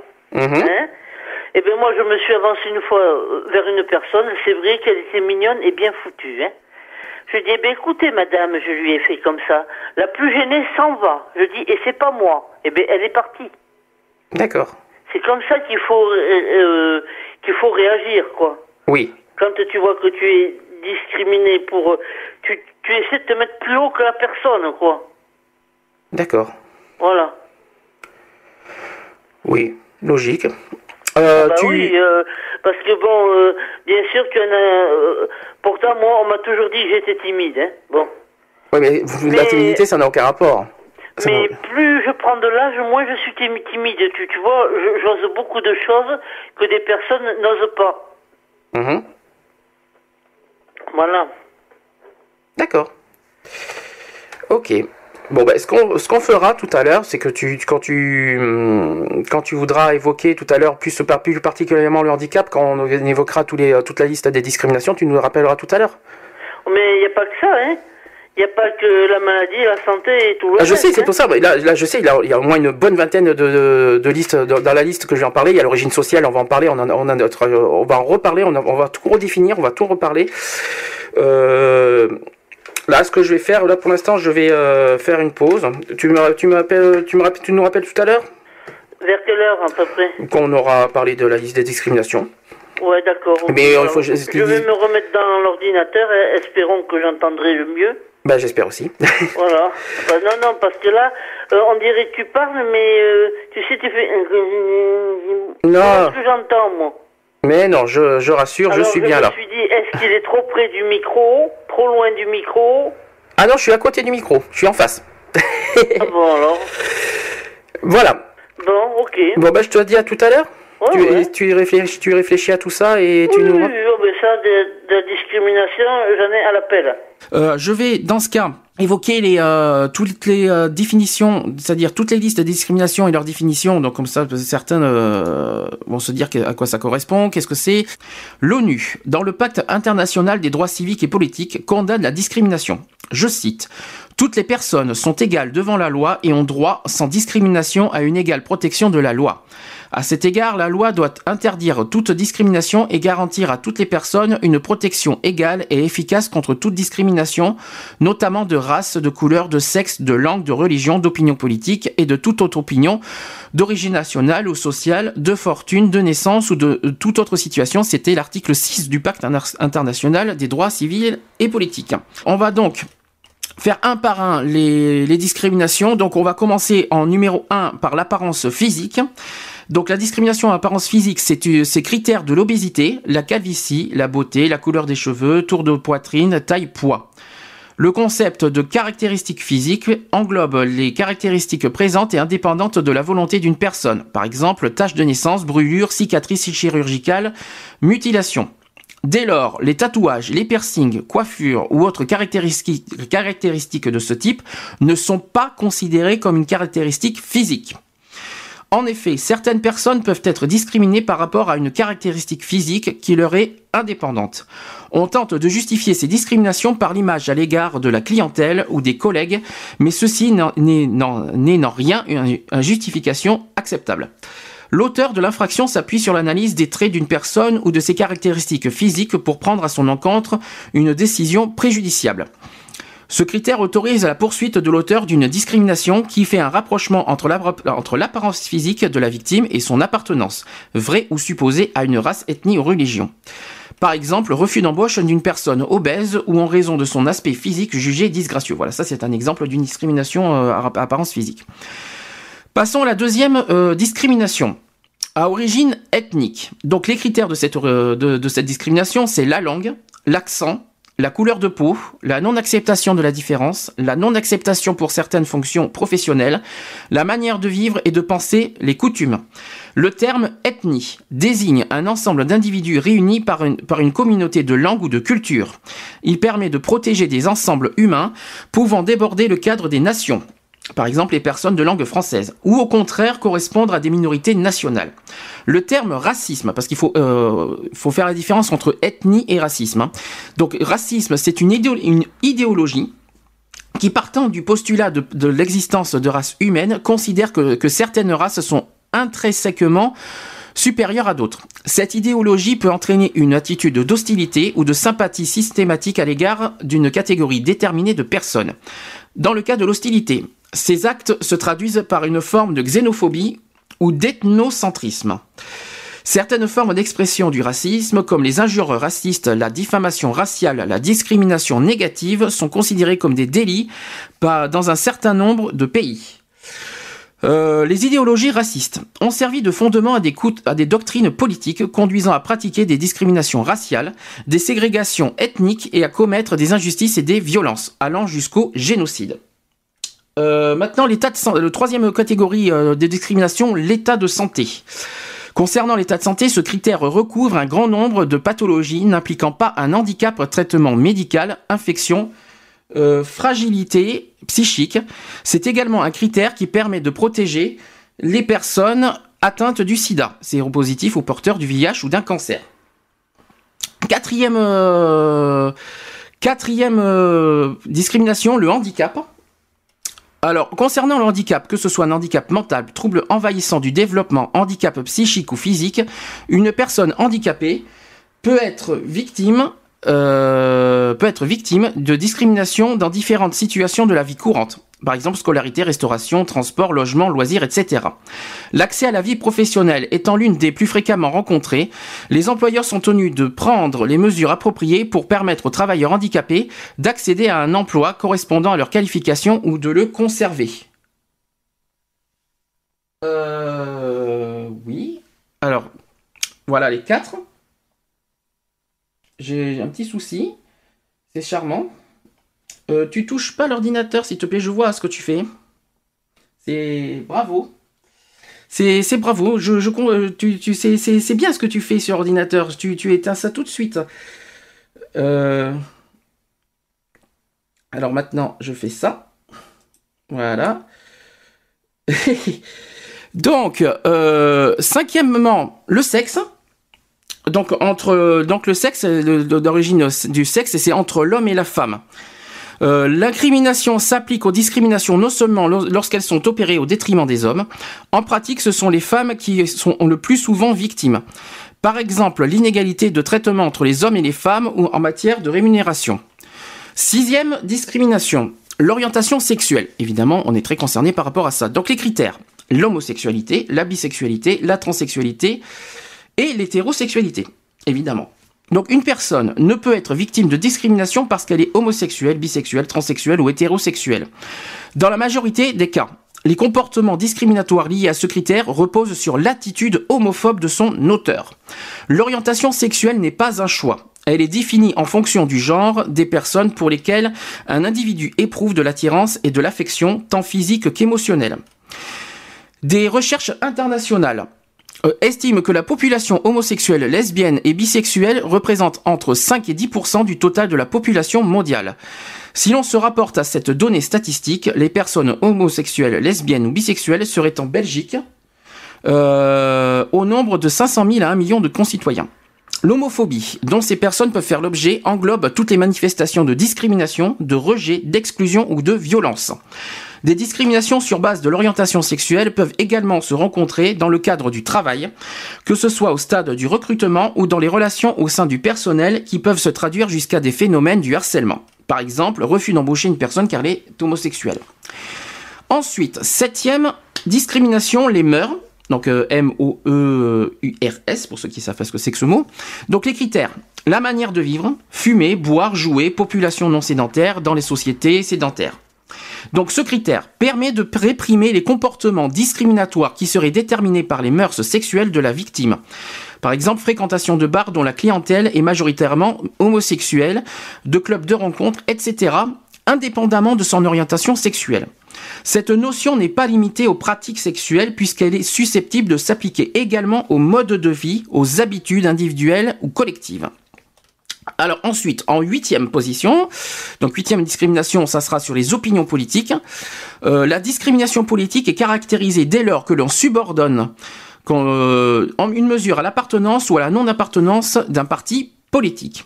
Ensuite, en neuvième, neuvième discrimination, les opinions religieuses. La discrimination à caractère religieux est caractérisée, est caractérisée plutôt dès lors que l'on subordonne une mesure à l'appartenance ou à la non-appartenance à une religion. Les convictions concernant l'existence ou non d'un dieu ou de divinité. Voilà, ça ce sont les opinions religieuses. Dixième discrimination, la conviction philosophique. Donc les convictions philosophiques telles que l'athéisme, l'agnoticisme ou la laïcité sont également visées. Les discriminations doivent être entendues comme des refus d'acceptation de ces convictions religieuses ou philosophiques. Après, onzième discrimination, l'âge. Ce critère concerne essentiellement le monde du travail. L'accès à l'emploi ne doit pas être interdit à une personne en âge de travailler. Ce motif discriminatoire ne peut être retenu dans tous ces cas. Dans tous les cas, certaines dispositions légales, civiles et sociales imposent ou autorisent la prise en compte de l'âge pour définir les droits et obligations des mineurs, des jeunes travailleurs ou des personnes âgées.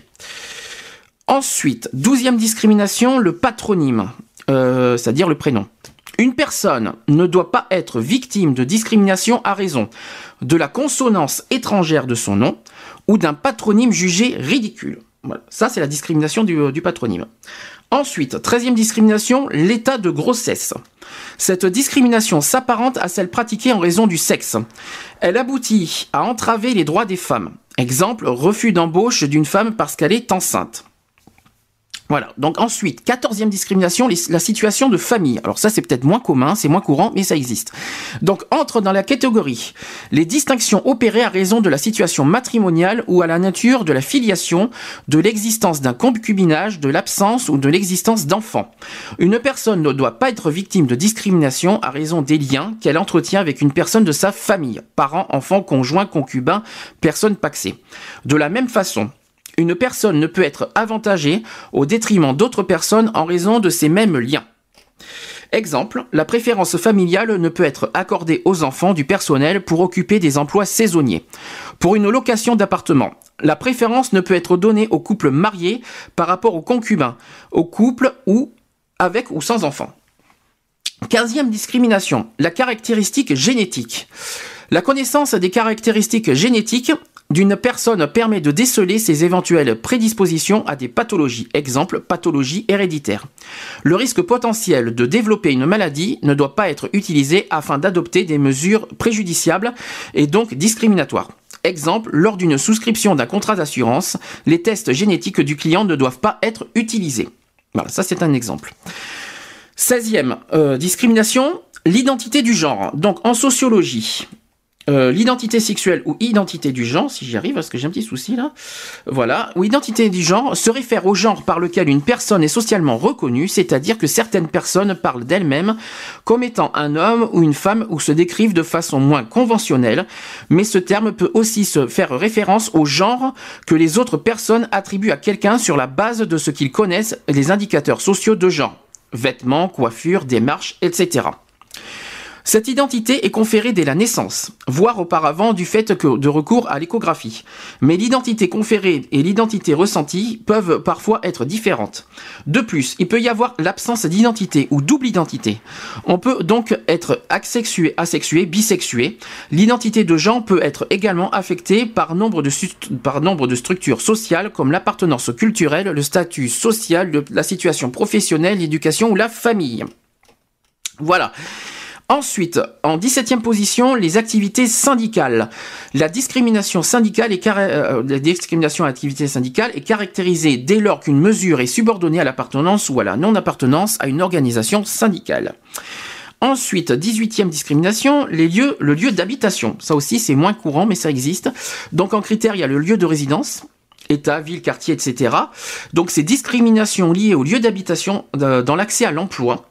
Une discrimination à laquelle se heurtent souvent les résidents des quartiers défavorisés. Voilà. C'est moins commun, mais ça existe. Ensuite, en 19e discrimination, il y a la culture. Les critères liés au phénomène de mode, exemple la musique. Le concept de culture est un des plus difficiles à définir. Plus de 1000 définitions au moins sont cumulables dans les différents travaux en sciences sociales et dans les multiples dictionnaires. Le terme culture désigne tout à la fois des produits artistiques ou culinaires, des manières d'être, des façons de réagir face à l'imprévu, des modalités pour forger du lien social, des rituels face aux, défis- aux différents moments de l'existence, etc. La culture est donc un rapport au monde, à soi et à l'autre, qui se traduit sous de multiples formes. Chaque individu n'a pas une culture mais des cultures, et il est porteur d'un ensemble de cultures, se rattache à peu appeler et mobiliser différentes appartenances culturelles. La culture est un processus dynamique, toujours en mouvement. Même si chacun a allusion de percevoir une culture figée, comme sur un mouvement arrêté sur une photo, la culture est la manière dont un groupe social donné apporte des réponses aux, questions socio-anthropologiques fondamentales. Voilà, ça c'est sur la culture. En 20e, il y en a plein, hein, je vous dis qu'il y en a beaucoup de discriminations. 20e discrimination, la nationalité. Donc discrimination qui est la plupart du temps liée dans le domaine de l'emploi. Le Code du travail prohibe la discrimination au travail liée notamment à la nationalité. La possession de la nationalité française est un principe exigé pour tout un ensemble de métiers. Exemple, refus d'embaucher une personne qui est de nationalité étrangère ou ne possédant pas la nationalité française. Ensuite, 21e euh, discrimination, c'est sur les matières d'emploi et profession. Donc euh, les mots emploi et profession recouvrent l'accès à la formation professionnelle, l'accès à l'emploi et aux différentes professions ainsi que les di- conditions d'emploi. La discrimination dans l'emploi ou la profession peut être directe ou indirecte. Il y a discrimination directe quand l'inégalité des chances fondée sur la race, le sexe, etc. est inscrite dans la législation ou la pratique. Par exemple, si la loi fait l'obligation à la femme, mais non au mari, de demander l'accord de son conjoint pour solliciter un prêt ou obtenir un papier nécessaire pour exercer une profession, il s'agit d'une discrimination directe fondée sur le sexe. Il y a discrimination indirecte, quand les règles ou les pratiques semblent neutres, mais conduisent en fait à des exclusions. Demander à des candidats de satisfaire à des critères de taille peut par exemple entraîner l'exclusion de beaucoup de femmes et de membres de certains groupes ethniques. Dans la mesure où une taille spécifique n'est pas indispensable pour exécuter le travail, il s'agit d'une discrimination indirecte. Donc l'égalité au travail implique que chacun ait les mêmes chances de développer pleinement les connaissances, capacités et compétences nécessaires dans l'activité économique qu'il a choisie. Les mesures visant à promouvoir l'égalité devant prendre euh, en compte la diversité des cultures, des langues, des situations familiales et des niveaux d'instruction. J'ai un portable qui grésille, super. Euh, euh, pour les paysans et les propriétaires de petites entreprises familiales, en particulier les femmes et les groupes ethniques, l'égalité d'accès à la terre, à la formation, euh, à la technologie et au capital est primordiale. Enfin, le 22e, et c'est pas les moindres, hein, c'est sur l'origine sociale.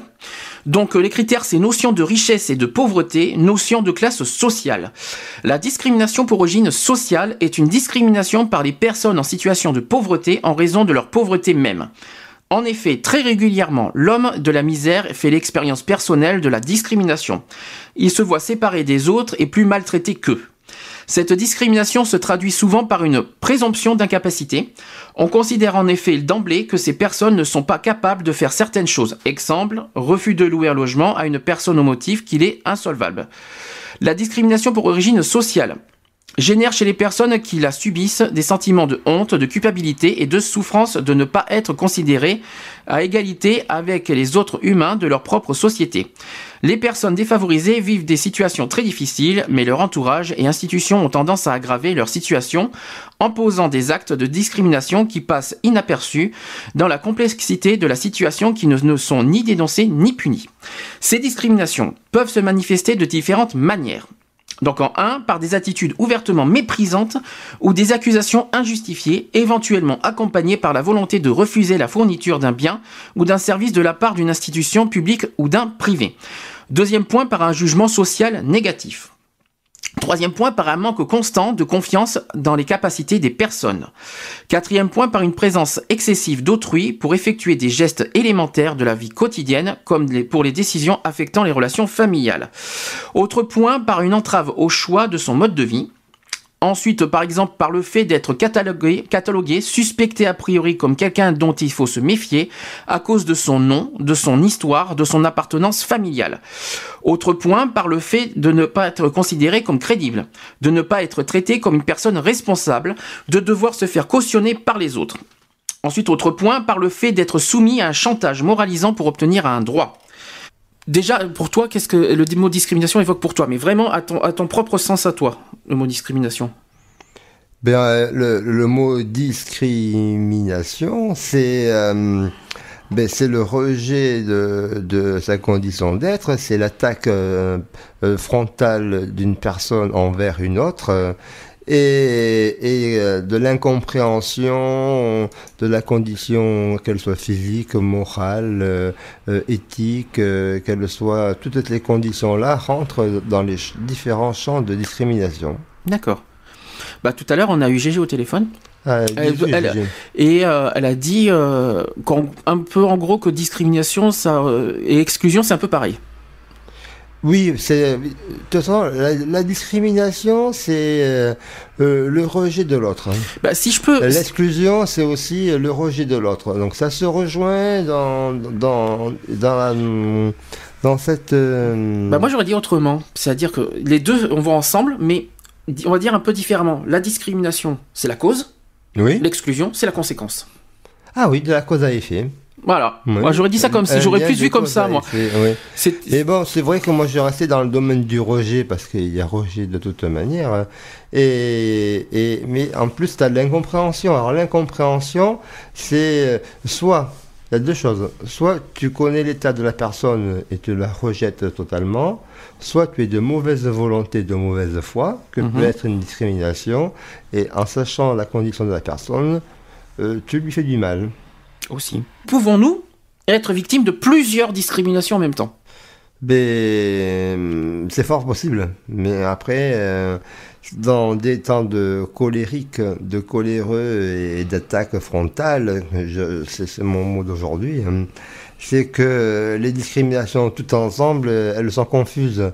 Et donc, euh, on, la prend euh, en pleine poire pour une discrimination générale. Et à ce moment-là, on, on ne sait pas si euh, il y en a plusieurs qui, qui, qui se cumulent et on englobe en une discrimination. Donc euh, oui, donc la réponse est oui, parce que faire, à titre personnel d'une, je le vis.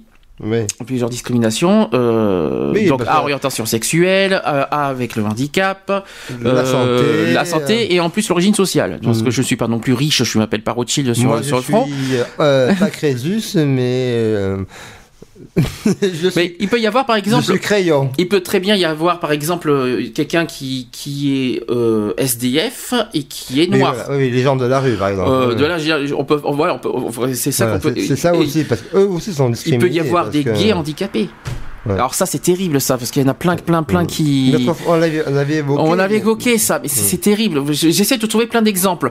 Ouais. Autre exemple, parce que sans forcément parler des gays, parce qu'après on va dire qu'on est une émission gay, donc on n'est pas. je- je- on va, on va changer d'exemple. Oh, voilà, ouais. Euh, euh, Gay, LGBT, sociétal. Mais moi, je, oui, plutôt sociétal. Après, Euh. c'est l'égalité euh, du sexe des gens euh, et, des, et des idées. Absolument. Hmm. L'orientation sexuelle, d'ailleurs, c'est pas forcément que gay, c'est également hétéro. Tout Donc, à il y a- fait, tout à et, fait, et malheureusement, qu'il il existe des hétérophobes. Ça, c'est terrible, ça. J'ai Ah jamais oui, vu ça, moi. oui, mais c'est. oui. J'aime pas les hétéros. Ah bon, bah, d'accord. S'il y en a qui n'aiment pas les hétéros. euh, Eh ben, c'est- pareil aussi, il y a sens unique pour les filles. Il y a Ah, il y a des filles qui n'aiment pas les garçons? Ah oui, mais ça, je, Ça aussi? moi, je l'ai vécu dans mes assauts. ouais. Mais c'est terrible, ça. Voilà. Et moi, c'est comme je dis, moi, la- l'association HSB, euh, dont, dont je suis le président, c'est bien une association d'orientation euh, des différentes, euh, euh, des différentes euh, d'orientation euh, sexuelle, des, des différentes euh, euh, des différentes communications et informations autour de toutes ces orientations. voilà, Alors.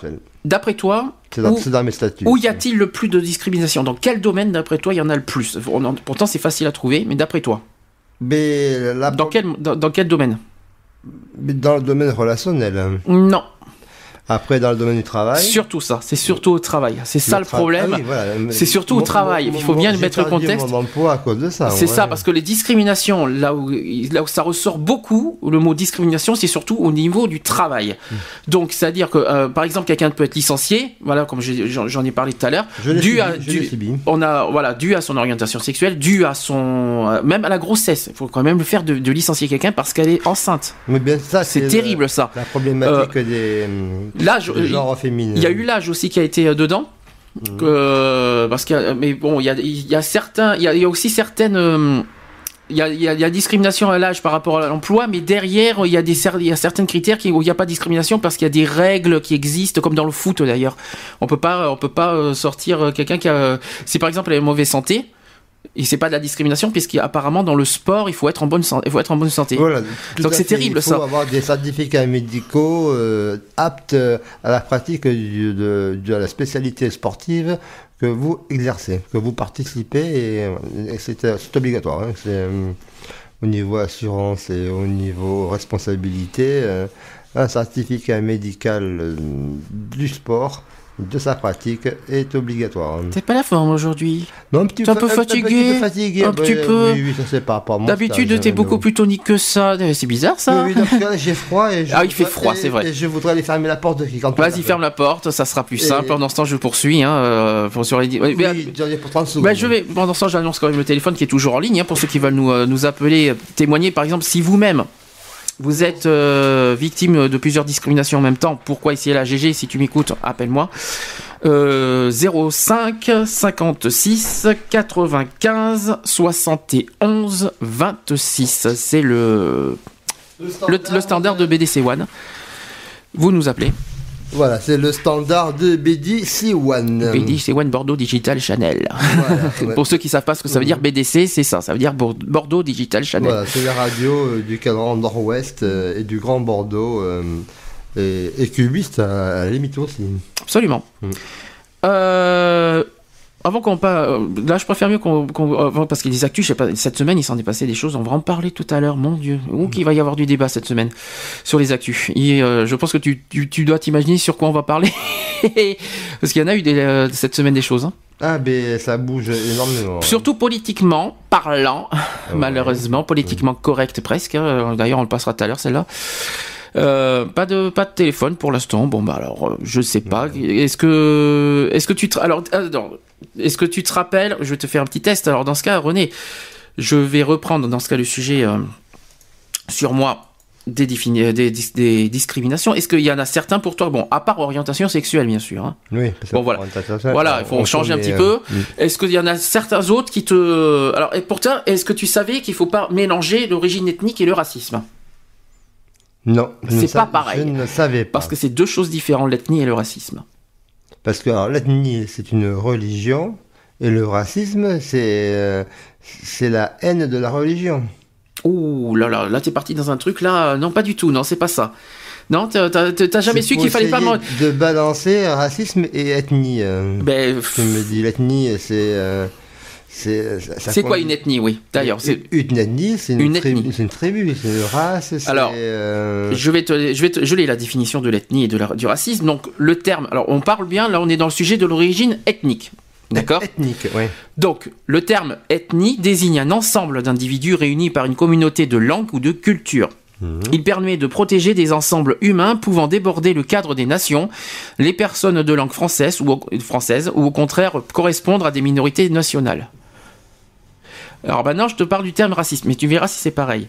Et c'est une idéologie qui, partant du postulat de l'existence de races humaines, considère que certaines races sont intré... Alors, je connais pas ce mot, intrinsèquement supérieures... Intrinsèquement. Intrinsèquement, je connaissais pas ce mot. Hein.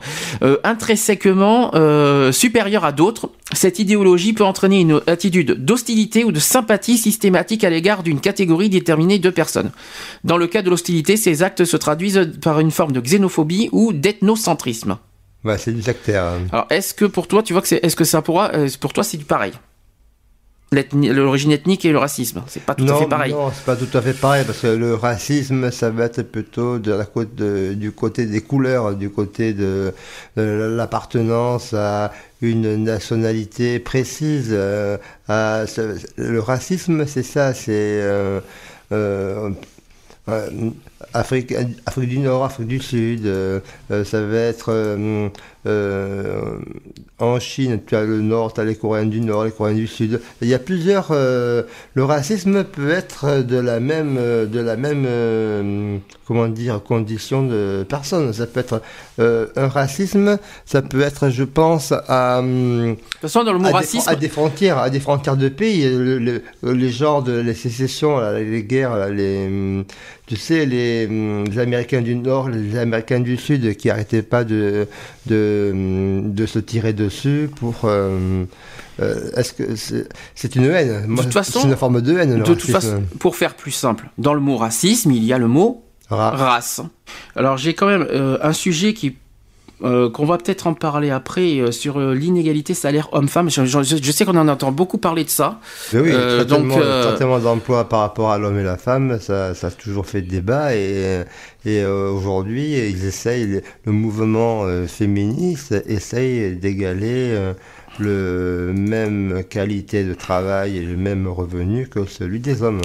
C'est vrai qu'une entreprise recherche des personnes euh, en bonne santé, disponibles 24 heures sur 24, euh, et donc ça, ça, ça crée des tensions. Retrouvez nos vidéos et nos podcasts sur www.equality-podcast.fr.